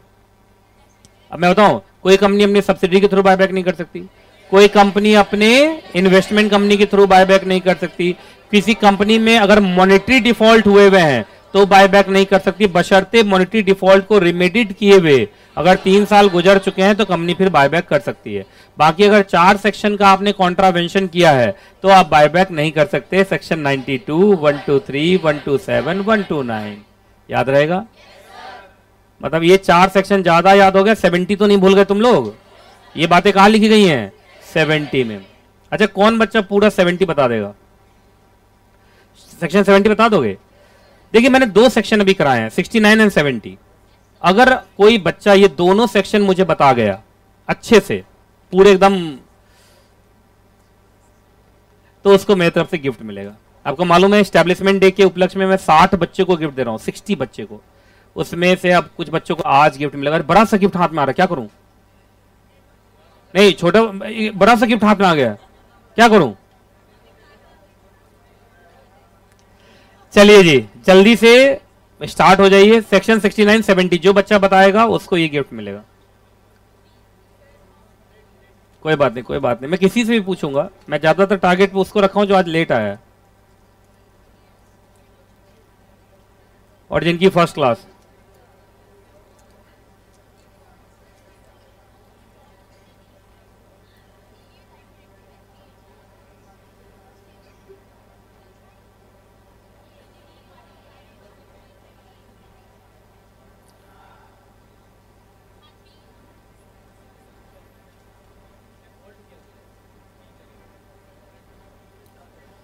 अभी अभी किसी और को आज मिलेगा मौका। देखो क्या होता है। तुम करो, क्या पता तुमको उठा लू।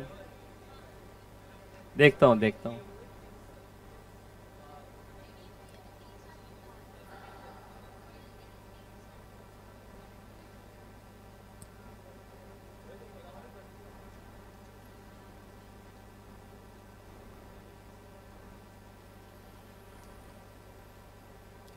डी टू एच वाले बच्चे, तुम लिख दो पूरा सिक्सटी नाइन सेवेंटी आज।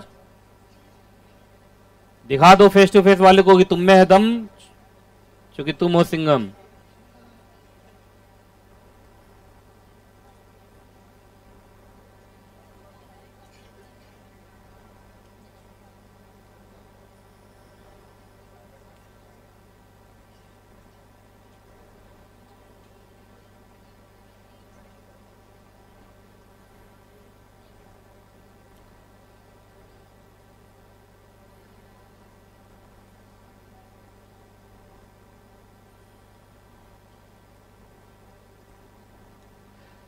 चलिए हो गया।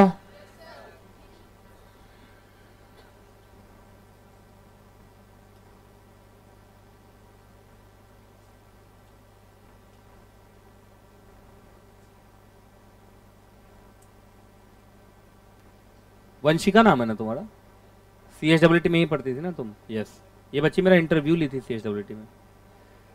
है ना? इसलिए मुझे इसका नाम याद रहता है। वंशिका और इसकी एक दोस्त और थी। दिव्या कहाँ है? नहीं आई। तो मैं दोनों को मिला के क्वेश्चन पूछता और ज्वाइंट गिफ्ट देता। लेकिन ये क्रांतिकारी कदम नहीं हो पाएगा लग रहा है ना? चलो 69 70 पूरा बताओ वंशिका।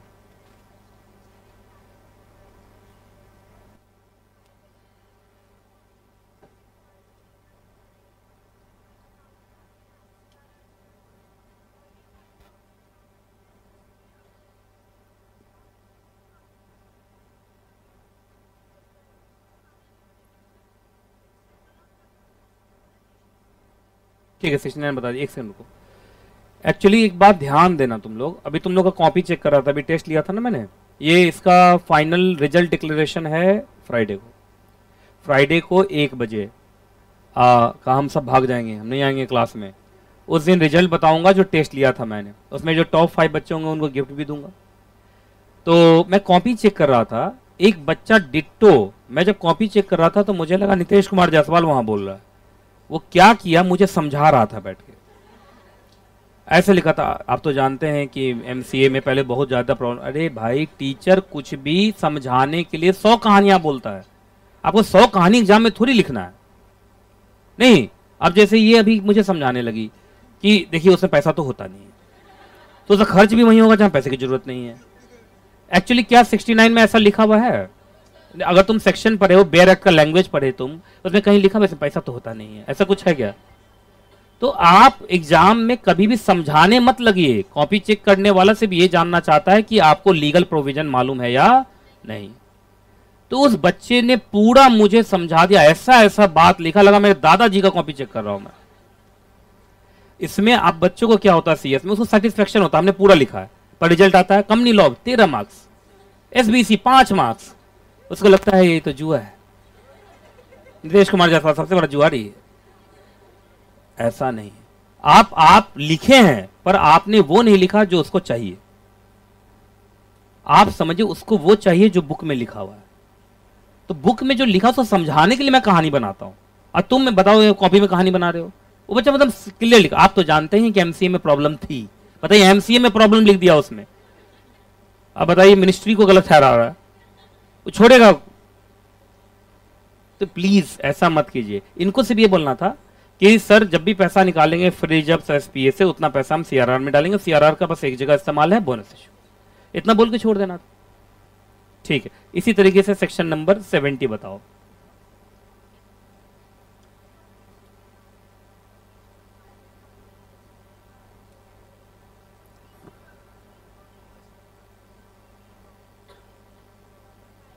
आराम से रुकिए। ये कीवर्ड्स बोले जा रही है, पर उसको सेंटेंस नहीं बना रही है। ये मुझे की वर्ड दे रही है कभी सेंटेंस बना के समझ लीजिए। तो तुम लोग भी एग्ज़ाम में यही करोगे तो कॉपी चेक करने वाला बोलेगा, अगले बार फिर एग्ज़ाम देना देख लूँगा।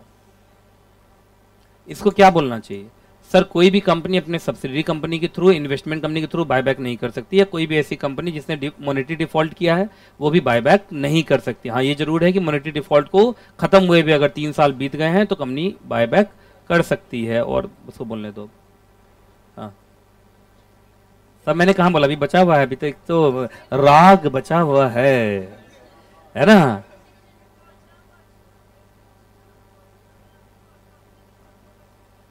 कंट्रोवर्सी नहीं कॉन्ट्रावेंशन ये तो अलग ही कहानी पहुँचा रही है। विवाद करा रही है तो। हाँ बोलो।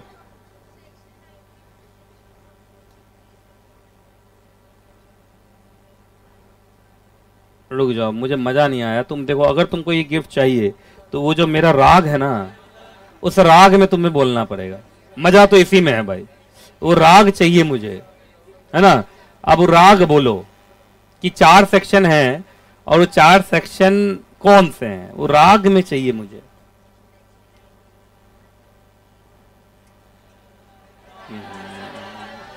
क्या हो गया? इमोशन कहाँ रख दियो सर, हम कहीं यहाँ सारा इमोशन लाओ। सेक्शन? 120 तो बोलता ही नहीं हूँ मैं। अरे उसको बोलने दो। हाँ अब थोड़ा सा तो बात बना है। सेक्शन 92, 123, 127, 129 ये है ना? चलिए आइए। यो यो करते हुए आओ। अच्छा हाँ जी फोटोग्राफर जल्दी। वो साइड करने के लिए सबको बोले गाली दो निकाल निकाल हट। आ जाओ। चलो आगे आगे थोड़ा सा आगे। ऐसे ऐसे। थोड़ा क्लैप लैप भी कर दो तुम लोग। हाँ दोनों दोनों दोनों हाथ से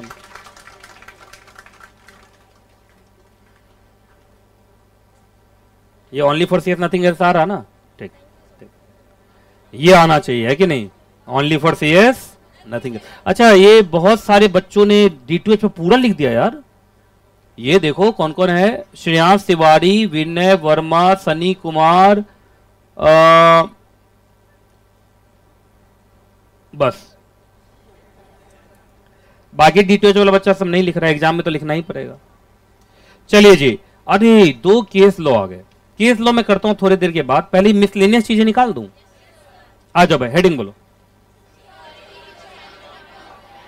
ज़ोर से नहीं बोल रहा यार, ऐसे थोड़ी चलेगा। अब ध्यान से सुनिएगा। अभी तुरंत जो हमने पढ़ा, वो था कौन कौन सी ऐसी कंपनी है जो बायबैक नहीं कर सकती? ये है कि कौन कौन सी ऐसी सिक्योरिटीज है जिनका बायबैक नहीं हो सकता? दोनों में डिफरेंस है। अब कैसे डिफरेंस है? इसका मतलब अब जो मैं बताने जा रहा हूँ, इसमें कंपनी बायबैक करेगी, बस इन सिक्योरिटीज का बायबैक नहीं करेगी। बाकी सिक्योरिटीज का बायबैक होगा। बात समझ में आ गया? तो यहाँ पर बताओ कंपनीज़ प्रोहिबिटेड है या सिक्योरिटीज प्रोहिबिटेड है? तो मेन वर्ड ये ठीक लगाया? बुक बहुत बच्चों ने अभी भी बुक नहीं लिया यार। नहीं ओल्ड सिलेबस की भी तो बुक आ गई कल। सिर्फ़ न्यू सिलेबस वाली आई है। अच्छा मैंने देखा इतनी सारी बुक आई, मुझे लगा सब। अच्छा चलो न्यू सिलेबस की बुक आ गई है बस। अच्छा चलो। अरे ओल्ड सिलेबस की बुक कब आ जाएगी? कल। अच्छा ठीक। ये सिक्योरिटीज पर टिक मारो। कर दिया। चलो, चार सिक्योरिटीज हैं जिनका बायबैक नहीं हो सकता। पहला बोलो। लॉक इन सिक्योरिटीज कुछ बच्चा आधे नींद में कहा लॉकी लॉकी कहाँ है? सब्ज़ी बनाऊँगा आज। लॉकी है या लॉक इन है? सुनो, लॉक इन का मतलब होता है, जितने दिन तक जो सिक्योरिटीज लॉक इन में होती है, इसका मतलब वो सिक्योरिटीज फ्रीज्ड होती है। क्या होती है? फ्रीज्ड। उनका ट्रांसफ़र नहीं हो सकता। उनका क्या नहीं हो सकता? ट्रांसफ़र नहीं हो सकता। ध्यान से सुनेगा। ट्रांसफ़र नहीं हो सकता तो भाई बायबैक भी नहीं हो सकता। क्योंकि बायबैक में भी शेयर होल्डर से कंपनी को शेयर ट्रांसफ़र ही तो होते हैं। तो जो शेयर ट्रांसफ़र नहीं हो सकते तो वो उसका बायबैक भी नहीं हो सकता, क्योंकि buyback also amount to what transfer transfer from shareholder to company तो याद रखिए लॉक इन में ऐसे शेयर जो लॉक इन पीरियड में है, किसमें है? Lock in lock in period में जब वो रहते हैं तो इसका मतलब वो फ्रीज है। उनका आदान प्रदान नहीं हो सकता ट्रांसफ़र नहीं हो सकता। अब लॉक इन के सौ कारण हो सकते हैं। तुम लोग को अभी तक में जितना तुम मेरे साथ पढ़े हो, उसमें एक जगह तुम लॉक इन पढ़ चुके हो, दो तीन जगह पढ़ चुके हो। So equity share lock in में रहता है। तीन साल ना? सोइट इक्विटी शेयर तीन साल इसॉप एक साल। अब बताइए, इसका मतलब तुम दो तो तुम पढ़ लिए मेरे साथ। ये सब लॉक इन में रहेगा। लॉक इन मतलब वो ट्रांसफ़र उतने दिन तक नहीं हो सकता जितने दिन तक वो लॉक इन में है। इधर देखिए इधर देखिए। मैं बायबैक का ऑफ़र लेके आया। तुम सब मेरे शेयर होल्डर हो। तुम सबका शेयर ले लिया, इनका नहीं लिया। क्यों नहीं लिया? क्योंकि इनके शेयर किसमें चल रहे थे? लॉक अच्छा लॉक इन जब खत्म हो जाएगा तब तब मैं ले पाऊँगा। तब मैं ले पाऊँगा। लेकिन जब तक लॉक इन में है, जब शेयर ट्रांसफ़र ही नहीं हो सकते तो उसका बायबैक भी नहीं हो सकता। याद रहेगा? कोई दिक्कत? आगे बढ़े। चलिए जी, बी बोलो। पार्टली पेड अप शेयर, ये सेक्शन 68 ही मना हुआ था। आपको याद सेक्शन 68 ने बोला था कि पार्टली पेड शेयर का बायबैक हो नहीं सकता। सिर्फ़ फुल्ली पेड अप शेयर का क्या हो सकता है बायबैक अरे पार्टली पेड अप में तो अभी शेयर होल्डर का ही पैसा देना बाकी है। तो मैं कहाँ से पैसा दूँगा उसको? आगे बढ़े। तीसरा disputed security kept in abeyance अब बहुत बच्चों को एबियंस ही नहीं मालूम है, मैं बताता हूँ क्या होता है। इधर देखो। सीएस के एग्ज़ाम में सुन लो जो तुम लोग के साथ होगा, जो होगा वो मैं बता दे रहा हूँ। क्योंकि मुझे कह रहा हूँ फोर्टीन ईयर में आ गया हूँ मैं, तेरह साल, जून, दिसंबर, छब्बीस बार। तो छब्बीस बार तो मैंने पढ़ा लिया बच्चों को। मुझे मालूम होगा क्या तुम्हारे साथ, मेरे साथ भी हुआ। जब मैं सीएस का एग्ज़ाम दे रहा था तो जब क्वेश्चन पेपर मुझे मिला तो मुझे सब आता था, सब आता था, तभी ना सीएस बनाया। सब आता था लॉ के एग्ज़ाम में अकाउंट्स अकाउंट में तो नहीं आता था। ठीक है? लॉ के एग्ज़ाम में मुझे सब आता था, पर एक दो क्वेश्चन में मैं अटक जाता था। कैसे अटकता था सोचो। एक वर्ड ऐसा यूज़ कर लेंगे वो, तुमको उस वर्ड का मतलब ही पता नहीं होगा। अब वर्ड का मतलब पता नहीं है, तुम बस मन में आते कोई बता दे कि पॉजिटिव है कि नेगेटिव है। अगर नेगेटिव बताए तो नेगेटिव लिख दूँगा पॉजिटिव हो तो पॉजिटिव बस उसी वर्ड में तुम अटक जाओगे। इसलिए थोड़ा सा ना, इसलिए बोलता हूँ लाइन बाय लाइन पढ़ा करो। जितना लाइन बाय लाइन पढ़ोगे, उतने नए वर्ड्स नज़र आएँगे। और जितने वर्ड्स नए नज़र आएँगे, उसका मीनिंग ढूंढोगे। नहीं समझे? और आईसीएसआई बहुत ही शरीफ इंस्टीट्यूट है। अपने मॉड्यूल से बाहर कभी नहीं पूछता है। ये बात याद रखना लाइफ में आप। मॉड्यूल से बाहर कभी नहीं पूछेगा वो। तो बैच खत्म होने दो, तुम लोग को बोलूँगा मॉड्यूल भी एक बार देख लेना। मॉड्यूल तो तुम्हें देखना पड़ेगा। अब इधर देखिए, क्या एबियंस अब देखो एबियंस वर्ड नहीं पता।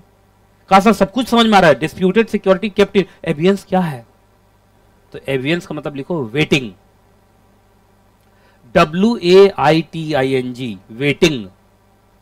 लिखा वेटिंग। सुनो, इधर देखो इधर देखो। मैं बायबैक का ऑफ़र लेके आया।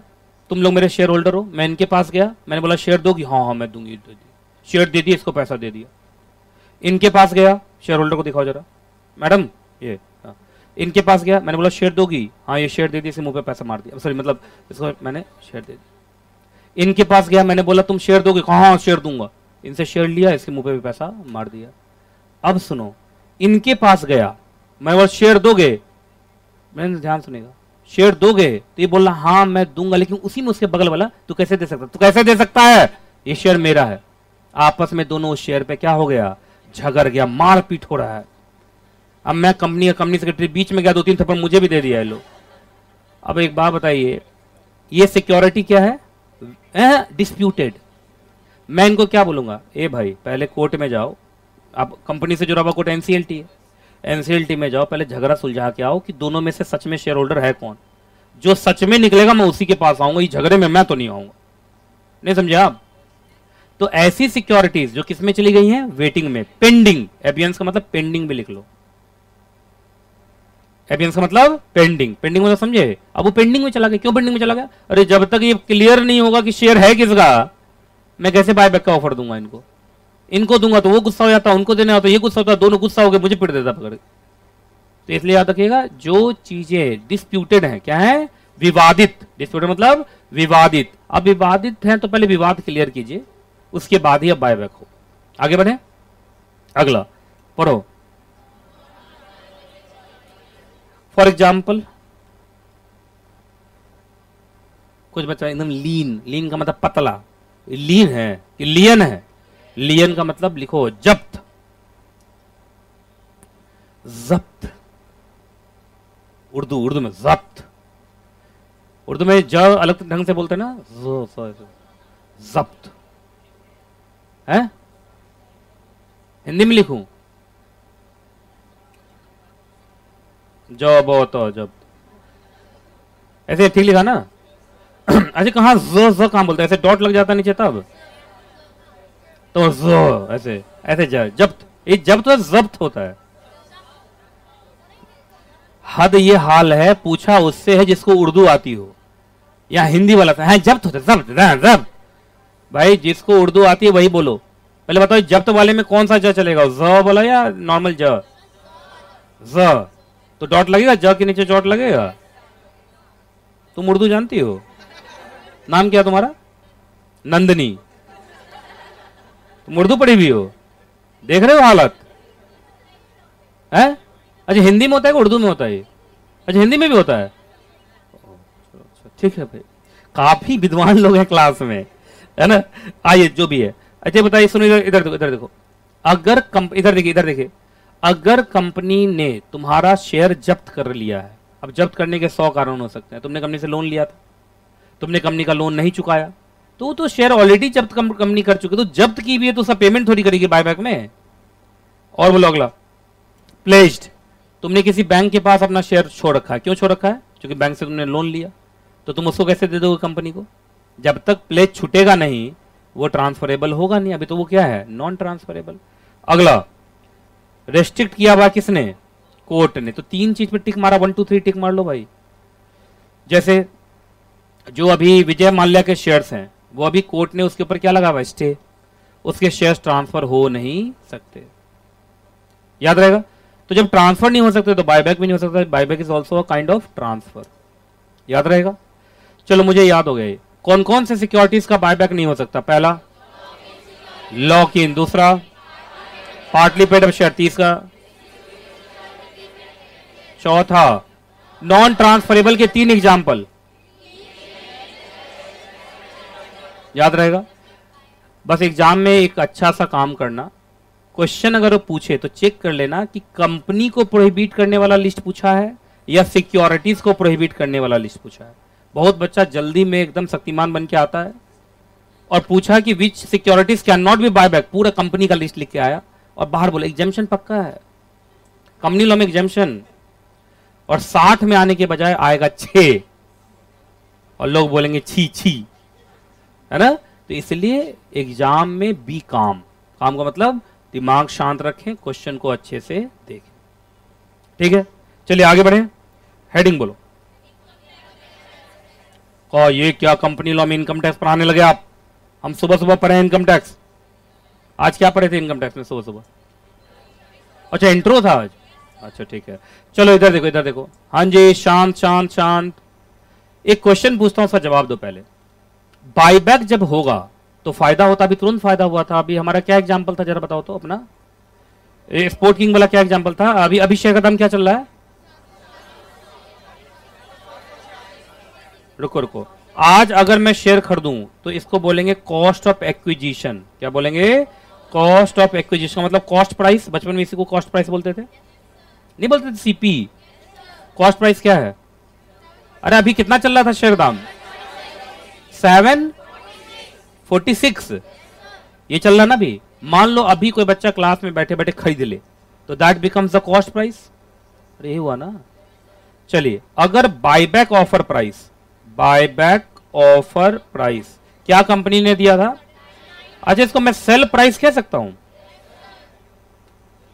सेल प्राइस ना? तुम कंपनी को इसी पे तो सेल करोगे। खरीदे थे 746 में कंपनी को दो कितने में? नाइन फिफ्टी नाइन फिफ्टी आप मुझे बताइए, अगर इस दोनों को मैं माइनस करूँ cost of acquisition minus buyback price तो 204 प्लस तो ये 204 जो ये प्रॉफिट है क्या? बोल नहीं रहा कोई। अगर ये 204 प्रॉफिट है, मैं बस ये क्वेश्चन पूछना चाह रहा हूँ। क्या इस पर इनकम टैक्स लगेगा? जल्दी बोलो। ये जो 204 रुपए का प्रॉफिट हुआ है तुमको, क्या तुम पे इनकम टैक्स लगेगा इस 204 रुपए पे? तो बोल ही नहीं रहा कुछ। कितने लोगों को लग रहा है कि सर लगेगा इनकम टैक्स और कितने लोगों को लगेगा, मैं कितने लोगों को लगता है कि नहीं लगेगा? ठीक है। कुछ लोग उधर हैं जो बोल नहीं लगेगा, इधर से भी कुछ बोला नहीं लगेगा तो हाथ नीचे क्यों कर दिया? जो अकेला चला वही तो देश जीता है। हाँ ठीक है। उधर से भी कुछ बच्चे को लग रहा नहीं लगेगा नहीं लगेगा। एक्चुअली ये ना जोग्राफिकल आंसर आता है। उतने ही दूर को लग रहा है कि नहीं लगेगा। और इसमें से जा, उधर से एक बच्ची और इधर से एक बच्चा, कुछ ऐसे ही है जो उस सी एच डब्ल्यू में हमारे यहाँ पढ़ता था, जो C H W same batch का बच्चा सब है। कहा, हमारा दिमाग एक जैसा हो गया है। क्या आंसर है तुम लोग का? जोग्राफिकल ग्रुपिज्म सर हम सोनीपत से साथ में आते हम एक ऐसा आंसर देंगे। हैं? सर हम रेवाड़ी से साथ में आते हम एक जैसा आंसर देंगे। सर हम जिला गाजियाबाद के हम एक जैसा आंसर देंगे। क्या ऐसे आंसर होगा क्या? कि अपना दिमाग लगाना चाहिए? ऐसे तो मालूम चला सब फेल कर जाएगा रेवाड़ी वाला। सब फेल कर जाएगा जिला गाजियाबाद वाला। तो सुनिए जो मैं बताना चाह रहा हूँ। अब तुम लोग इनकम टैक्स खैर उतना पढ़े नहीं हो, अब पढ़ रहे हो अब। स्टार्ट किया ना आज से पढ़ना। मैं आपको बताऊँ, शेयर मार्केट से जो कमाई होती है ना, उसको बोलते हैं कैपिटल गेन। क्या बोलते हैं? जैसे तुम अभी इनकम टैक्स शुरू किया हो ना, उसमें कुछ दिन के बाद 10-15 दिन के बाद, उसमें पाँच हेड शुरू होगा।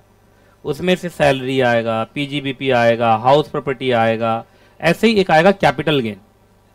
तो सुनिए, कैपिटल, शेयर मार्केट में जो पैसा इन्वेस्ट करते हैं that becomes the capital share capital capital और कैपिटल पे गेन होगा तो that becomes the capital gain tax simple है ना यार. तो कैपिटल गेन हुआ नहीं है तुमको? कैपिटल गेन निकाला कैसे तुमने?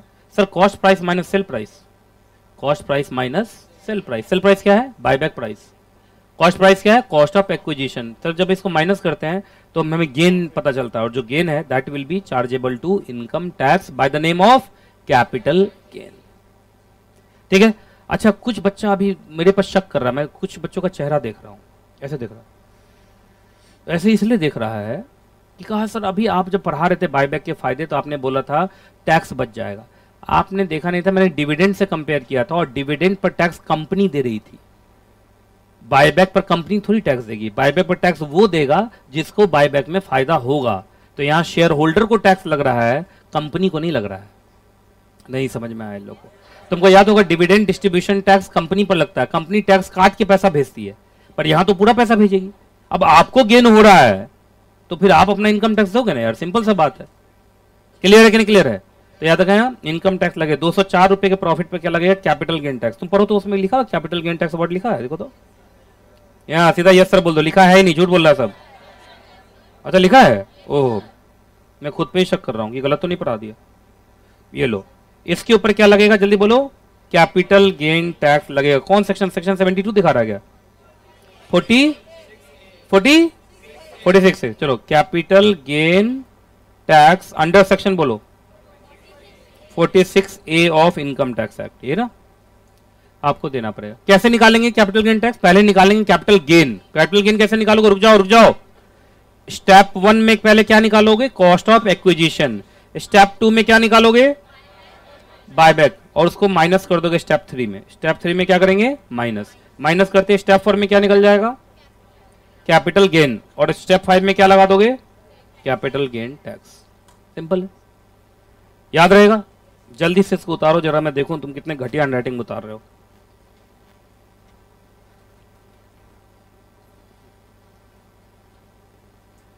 ये हैंडराइटिंग समझ में नहीं आ रहा? स्टेप बाय स्टेप उतारना तुम लोग। तो बायबैक पे टैक्स लगेगा। Capital gain tax step by step उतारना। Step one step two step three step four step five तुम लोग स्टेप बोलते हो, नहीं? मैं स्टेप बोल देता हूँ। भाई स्टाइल तो सबका होना चाहिए ना। चलिए, हटाऊं। मज़ाक था मज़ाक था। पहला मज़ाक आज। ये फूल किस बात की गवाही दे रहा है? स्टैब्लिशमेंट डे की। जो नहीं आया उसको वो चिढ़ा रहा है। वो रोज है, पहले ही बताओ ये रोज है। ये माला क्या चीज़ का लगा है? अच्छा गेंदा को क्या बोलते हैं इंग्लिश में? मैरी गोल्ड तो मैरी गोल्ड बिस्किट का है ना ये? तुम लोग को फूल में सिर्फ़ रोज ही नज़र आता है।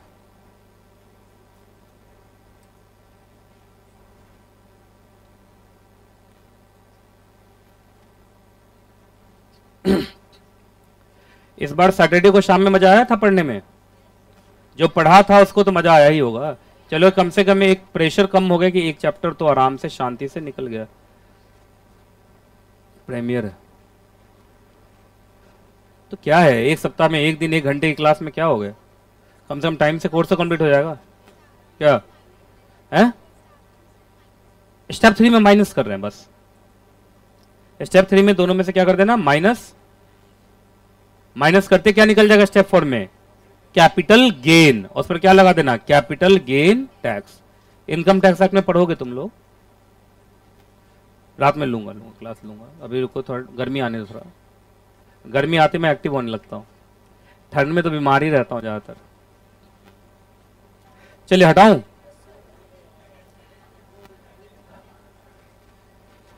मज़ा आया? हटा रहा हूँ। तो कैपिटल गेन टैक्स लगेगा ये, है ना? चलिए जी, कौन सा सेक्शन लगेगा? Forty seven forty six A और फोर्टी एट ना? Forty six A read with forty eight ये सब तुम जब कैपिटल गेन चैप्टर पढ़ोगे ना, उसमें ये सारे सेक्शंस आएँगे। तुम लोग वहाँ पढ़ना। आगे बढ़े। चलिए, अब अगला क्वेश्चन है। स्टैम्प ड्यूटी लगेगा?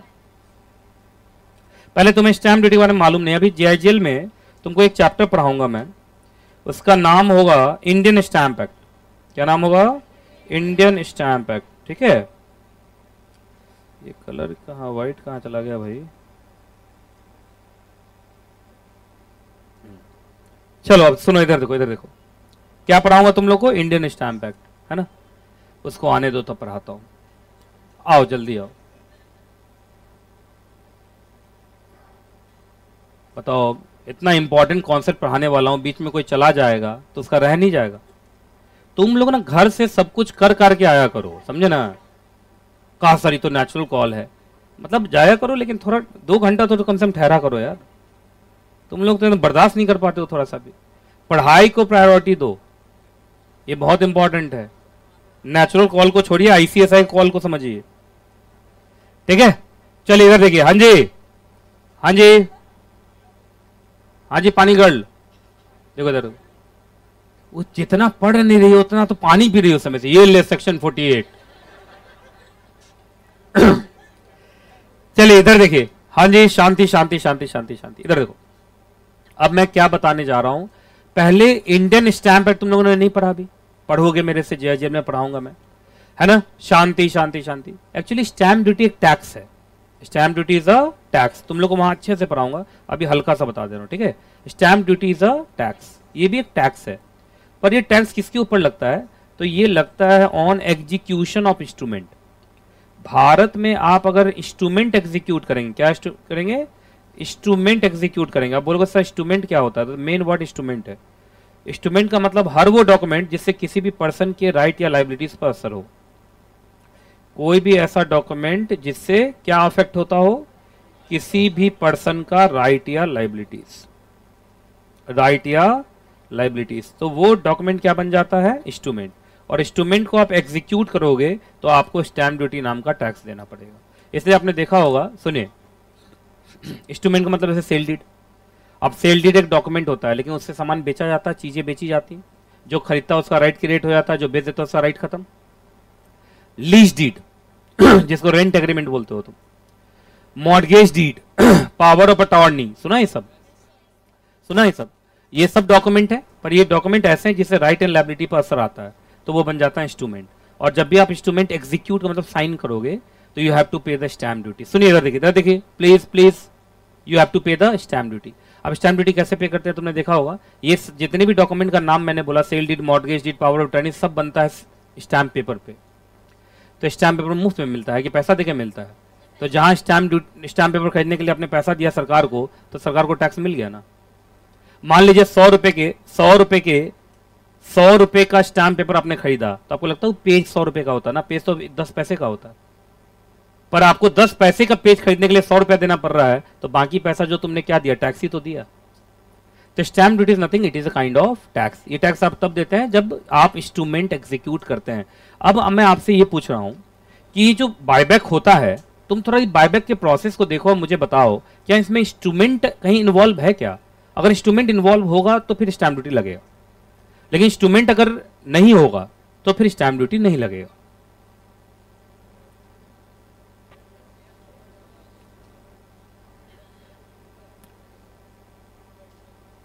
देखो ये मेरे ही से क्वेश्चन पूछ लिया, कहा एक काम करो, सर से ही पूछ लो। एक बात याद रखिएगा शेयर्स भी इंस्ट्रूमेंट होता है, पर जब कंपनी शेयर सर्टिफिकेट इशू करती है तो कंपनी ऑलरेडी स्टैम्प ड्यूटी पे कर चुकी होती है। अब यहाँ पे शेयर वापस कंपनी के पास आ रहा है। अब ये जब वापस आ रहा है तो उस प्रोसेस को तुम देखो। और तुम बोलो, इस ट्रांजेक्शन में कहीं इंस्ट्रूमेंट है क्या कोई? ये तुम लोग को हटा दो, ये तुम लोग को फ़ोटो तो नहीं, उतारना उतारना तो नहीं है। उतारोगे तो तुम इंडियन स्टैम्प एक्ट नहीं पढ़ोगे क्या? तो जब पढ़ोगे तो वहाँ तो पढ़ाऊँगा ये हटाओ इसको। कोई बच्चे को बहुत बुरा लग गया, नुन्नू मुन्नू सबको। लो, उतार लो। ऐसा ऐसा इंप्रेशन देता उतारने नहीं दिया। है ना? जाओ, उतारो। अब उतार लो। मतलब बायबैक ना पढ़ा के मैं जेल पढ़ा रहा हूँ यहाँ पे। उतार लिया, हटाऊं? करो। करवाओ लेट मुझे क्या? चाहे रात आठ बजे मैं तो खत्म करा के छोड़ूँगा आज। बहुत मौज कर लिया तुम लोगों ने। छह फरवरी को जो तुम्हारे ठुमके देखा है ना मैंने है ना? अब मैं देखो डीजे पे जो डांस किया तुम लोग, मैं तो भाग गया था। मैं भाग गया था, मालूम है? मैं बोला कि भाई अब ओपन डांस हो रहा है। मैंने टीचर्स को लिया, भागा यहाँ से। मैंने कहा लोग मुझे खींच लेगा। मुझे मालूम था, उसके बाद मैं तो यूट्यूब लाइव पर तुम लोग को देख रहा था। कैसे भी डांस कर रहा है कोई? मैं तुम लोग का डांस स्टेप कोई देख लेना तो पागल हो जाए। है ना? बैठ, कोई यहाँ बैठा हुआ डांस कर रहा बैठे बैठे। पर सबसे अच्छा माहौल उस समय था, सबसे अच्छा लोगों ने मुझे बताया कि जब मैं ऊपर चढ़ा और बच्चों ने मेरे से ज़बरदस्ती डांस कराने की कोशिश की, थोड़ा सा मैंने हल्का सा डांस क्या ही किया होगा, लेकिन मुझे छोड़ के बच्चा खुद ही डांस करने लगा। और स्टेज पे चढ़ गया, मुझे छोड़ दिया। और उसके बाद यहाँ यहाँ नहीं, हर तरफ़ होने स्टार्ट हो गया। वो सबसे अच्छा पल था उसमें तो उस वीडियो को ना थोड़ा और अच्छे से काटना चाहिए, वो बनाना चाहिए। वो बहुत बढ़िया वीडियो था। वो शुरू से दिखाना चाहिए, मैं कैसे चढ़ा कैसे बच्चों ने मुझे फंसाया। क्योंकि उसको खुद डांस करने का मन था और कैसे मुझे इनविजिबल करके खुद कैमरा में आ गया। कोई बनाया था उस समय में? वीडियो कोई बनाया था? किसी ने किसी के पास हो एक अच्छा सा काट के उसको थोड़ा एडिट करके देना तो मैं लगाऊँगा अपने स्टेटस पे। है ना? चलिए, ये उतार लिया तुम लोगों ने। हाँ सुनो। अब मैं तुम लोग को ज़्यादा तंग नहीं करता। तुम यहाँ से लेके यहाँ तक पढ़ जाओ, और तब तुम मुझे जवाब दो कि सुनो सुनो बायबैक में ये होता है मेरा शेयर होल्डर है। मैंने इनको बोला कि मैं तुम्हें से बायबैक करना चाहता हूँ, इसने अपना शेयर सर्टिफिकेट मुझे दे दिया, मैंने उसको फाड़ के फेंक दिया। आपको बताना है, इस बीच में कहीं कोई इंस्ट्रूमेंट एग्जीक्यूट हुआ क्या? अगर इंस्ट्रूमेंट एग्जीक्यूट हुआ तो स्टैम्प ड्यूटी लगेगा। लेकिन इंस्ट्रूमेंट अगर एग्जीक्यूट नहीं हुआ तो स्टैम्प ड्यूटी नहीं लगेगा। तुमको पढ़ के बताना है कि इंस्ट्रूमेंट है या नहीं।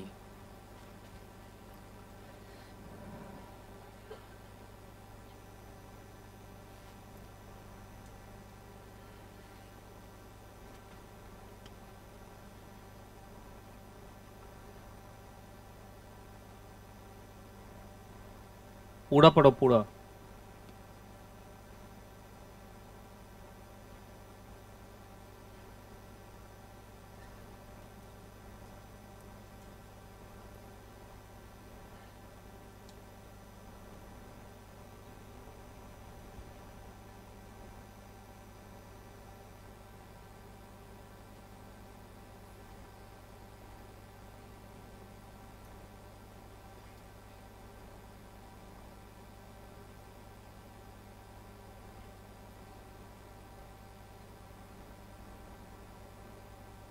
अब क्या कल तक पढ़ोगे?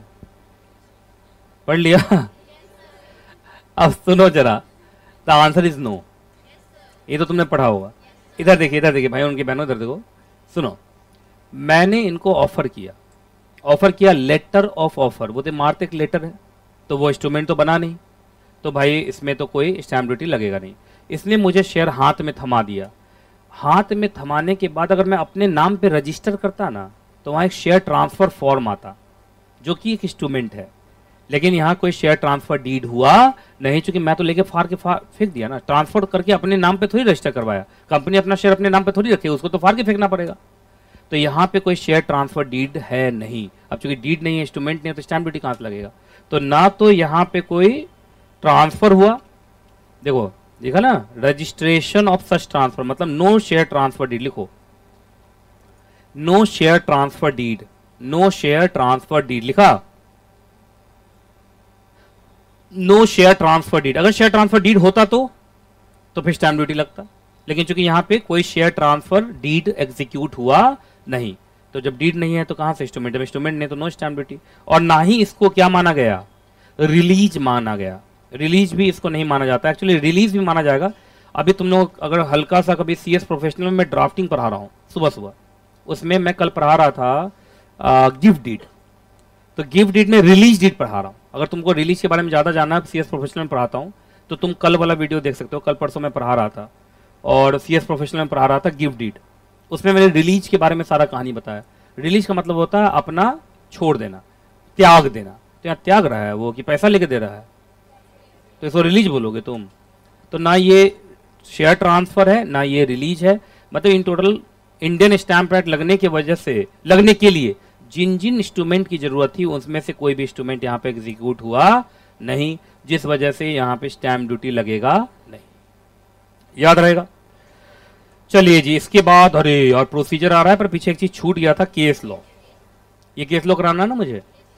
चलो भाई, इस दो केस लॉ को जल्दी जल्दी पढ़ जाओ, उसके बाद ब्रेक होगा ब्रेक के बाद क्या स्टार्ट होगा? प्रोसीजर प्रोसीजर लंबा चलेगा।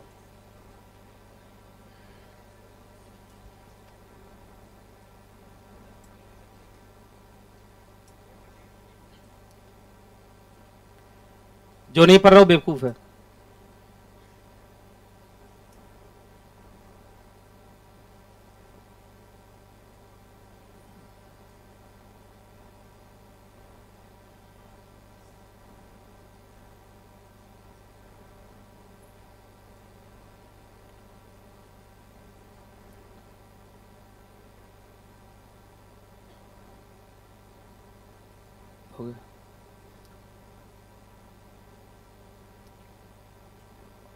पढ़ लिया। जो पढ़ा है उसको समझ में आएगा, जो नहीं पढ़ा वो तो बेवकूफ़ है। हाँ जी, पढ़ लिया। अब जरा ध्यान से सुनो, मैं पूरी कहानी बताने जा रहा हूँ, ठीक है? और लास्ट में मैं केस केस का नाम कौन है? Gurmeet Singh versus polymers papers limited और कौन है? Union of India versus Sterlite industries limited ठीक है। यूनियन ऑफ़ इंडिया का मतलब केंद्र सरकार।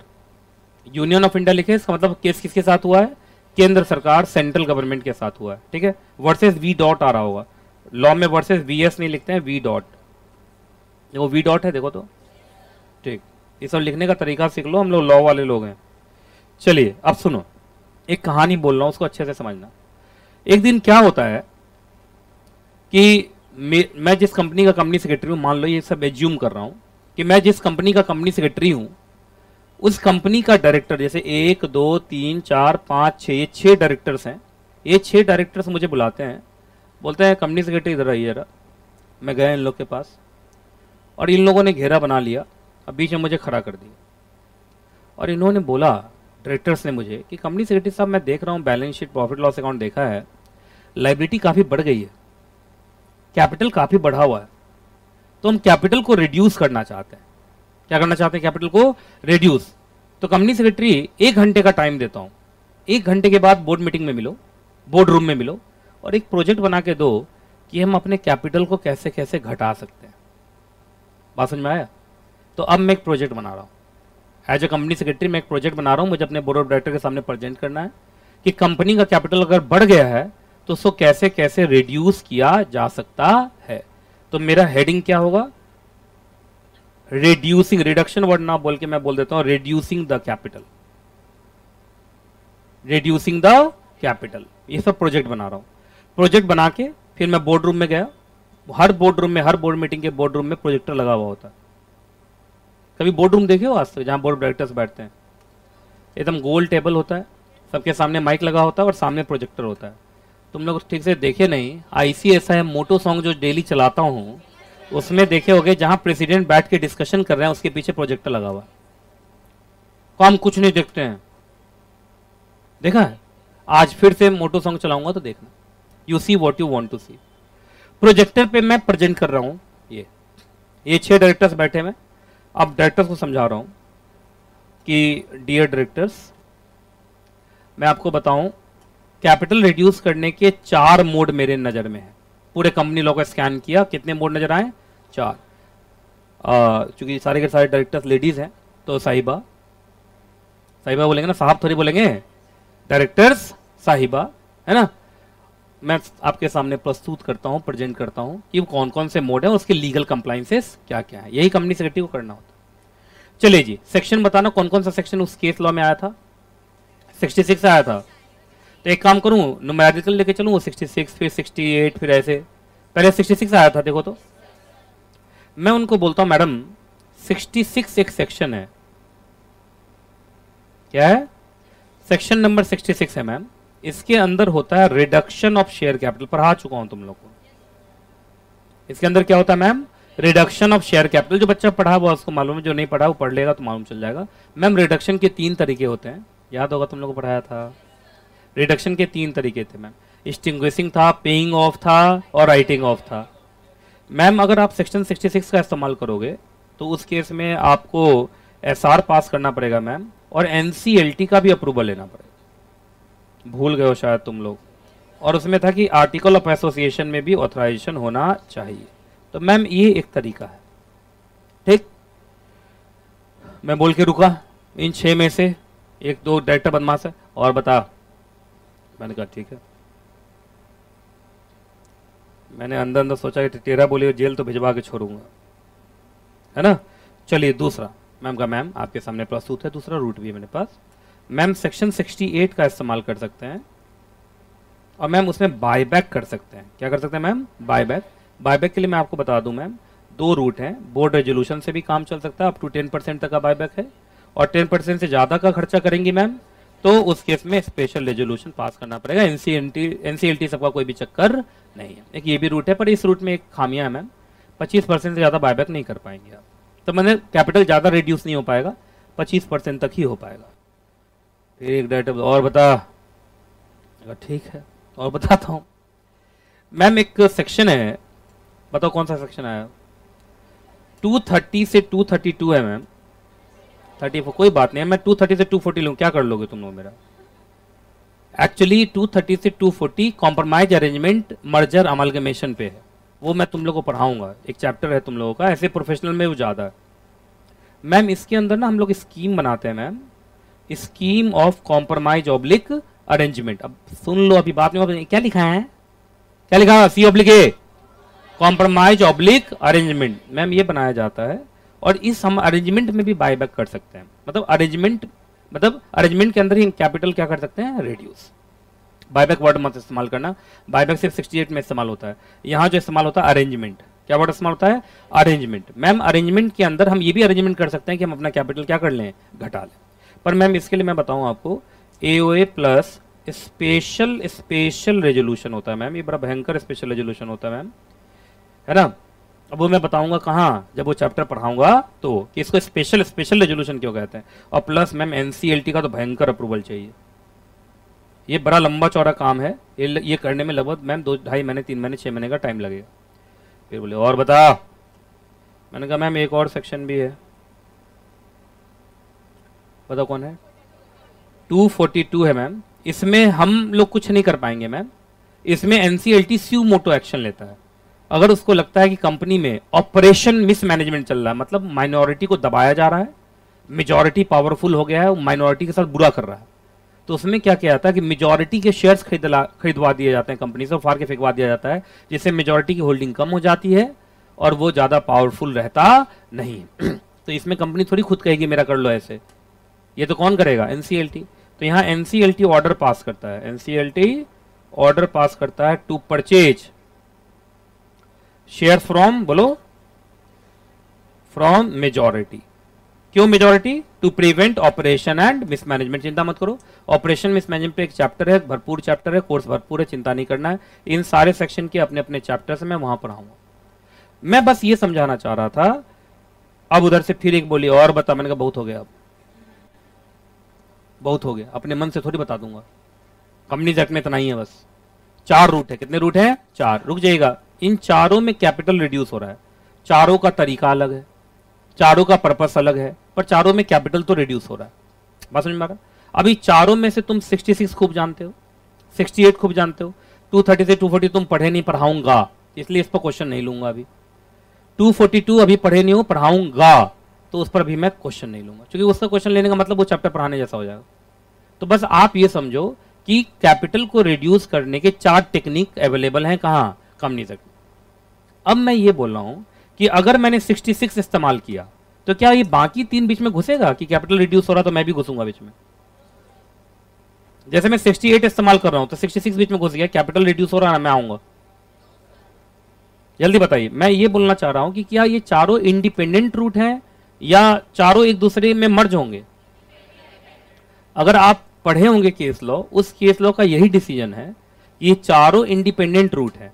और आप जिस रूट को पकड़ोगे, सिर्फ़ उन्हीं को कंप्लाई करना है, बाकी रूट को कंप्लाई करने की ज़रूरत नहीं है। अगर आपने उसमें लैंग्वेज पढ़ा होगा तो यही लिखा हुआ है।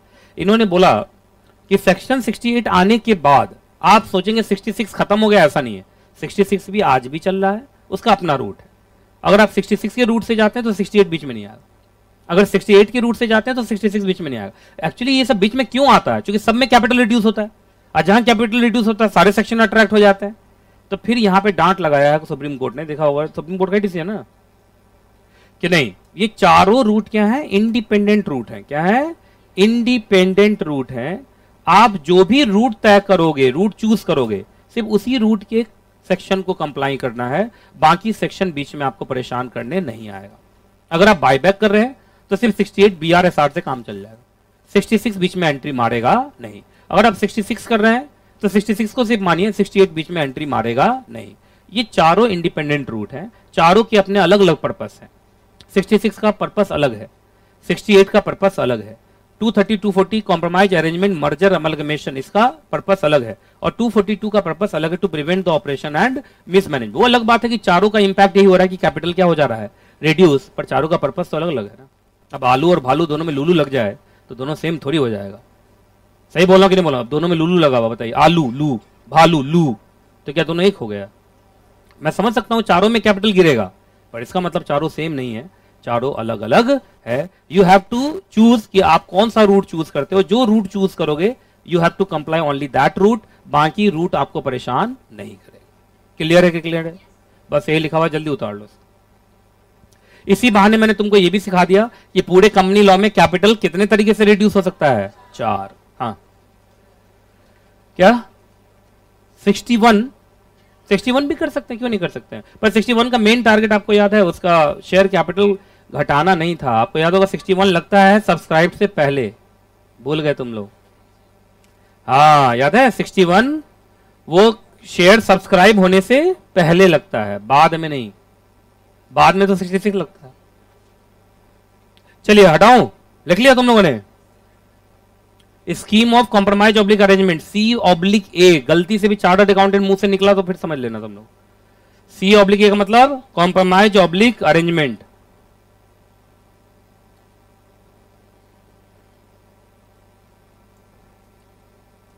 ये किसी मेरे स्टाफ ने एक वीडियो बोला मुझे बनाने के लिए, कहा आजकल बड़ा ट्रेंडिंग है सर वो वीडियो और वो आप पर सूट करता है।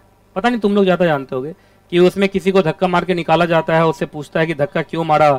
तो बोला कि इस वजह से धक्का मारा। तो उसमें यह है कि आप किसी स्टूडेंट को धक्का मार के निकालिए और वो वीडियो बनेगा और उसमें वो बच्चा ये बोलेगा कि मैंने गलती से क्या नाम ले लिया था। सी सर की क्लास में सीए का नाम ले लिया था।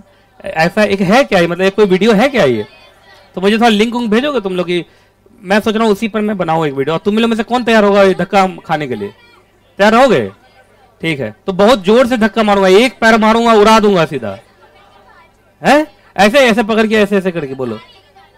है? अच्छा तो बनाऊँ, बोलो। अच्छा ठीक है।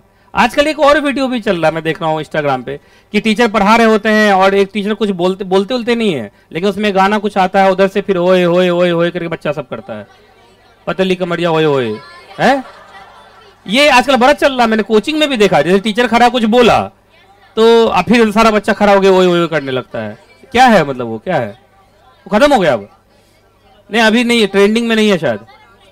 मुझे डांस करना पड़ेगा यार। मुझे क्यों करना पड़ेगा? अच्छा पतली कमरिया आओ अच्छा हाँ, हाँ हाँ तो मुझे तो ऐसे ऐसे करना पड़ेगा। हाँ। नहीं नहीं ये नहीं नहीं। पतली कमरिया है भी मेरी। क्या बात कर रहे हैं यार तुम लोग? पतली कमरिया आपकी आई है। नहीं मैंने देखा टीचर डांस तो नहीं करता सिर्फ़ दिखा देता है उसको ऐसे हो जाता है। एक स्टेप करना पड़ता है। अच्छा मैं ये काम नहीं पतली कमरिया करूँगा। अच्छा। है पता नहीं, वो वाला ठीक है वो, कि सीए का नाम ले लिया तो मैंने उसको उठा के फेंक दिया बाहर। ये बात तो भी सही है ना, मेरी कोचिंग में सीए का नाम लिया तो उठा के फेंकूँगा ये बाहर। करूँगा। आज। तो मुझे बनाने नहीं आता। तुम लोग बना दोगे अपने फ़ोन में? बना दोगे? अच्छा बनाना, गधा की तरह मत बना देना अच्छा ठीक है, तब ठीक। आज क्लास के बाद फिर एक था कैसे फेंकूँगा एक को सीधा मेट्रो पर सीधा। बाल पर घसीट के। अच्छा ये कॉन्सेप्ट है। अच्छा चलो, खैर। मज़ा करते हो गया? लिख लिया तुम लोगों ने? ठीक है तो आज शाम में बनाते हैं उसको, है इस बहाने दो तीन को पीट भी दूँगा। ये यूट्यूब पे भी डलता है इंस्टाग्राम पे भी डल जाएगा। वीडियो बन गया तो। फिर उसमें गाना कहाँ से आएगा या म्यूज़िक कहाँ से आएगा? तो मुझे कुछ नहीं पता यार।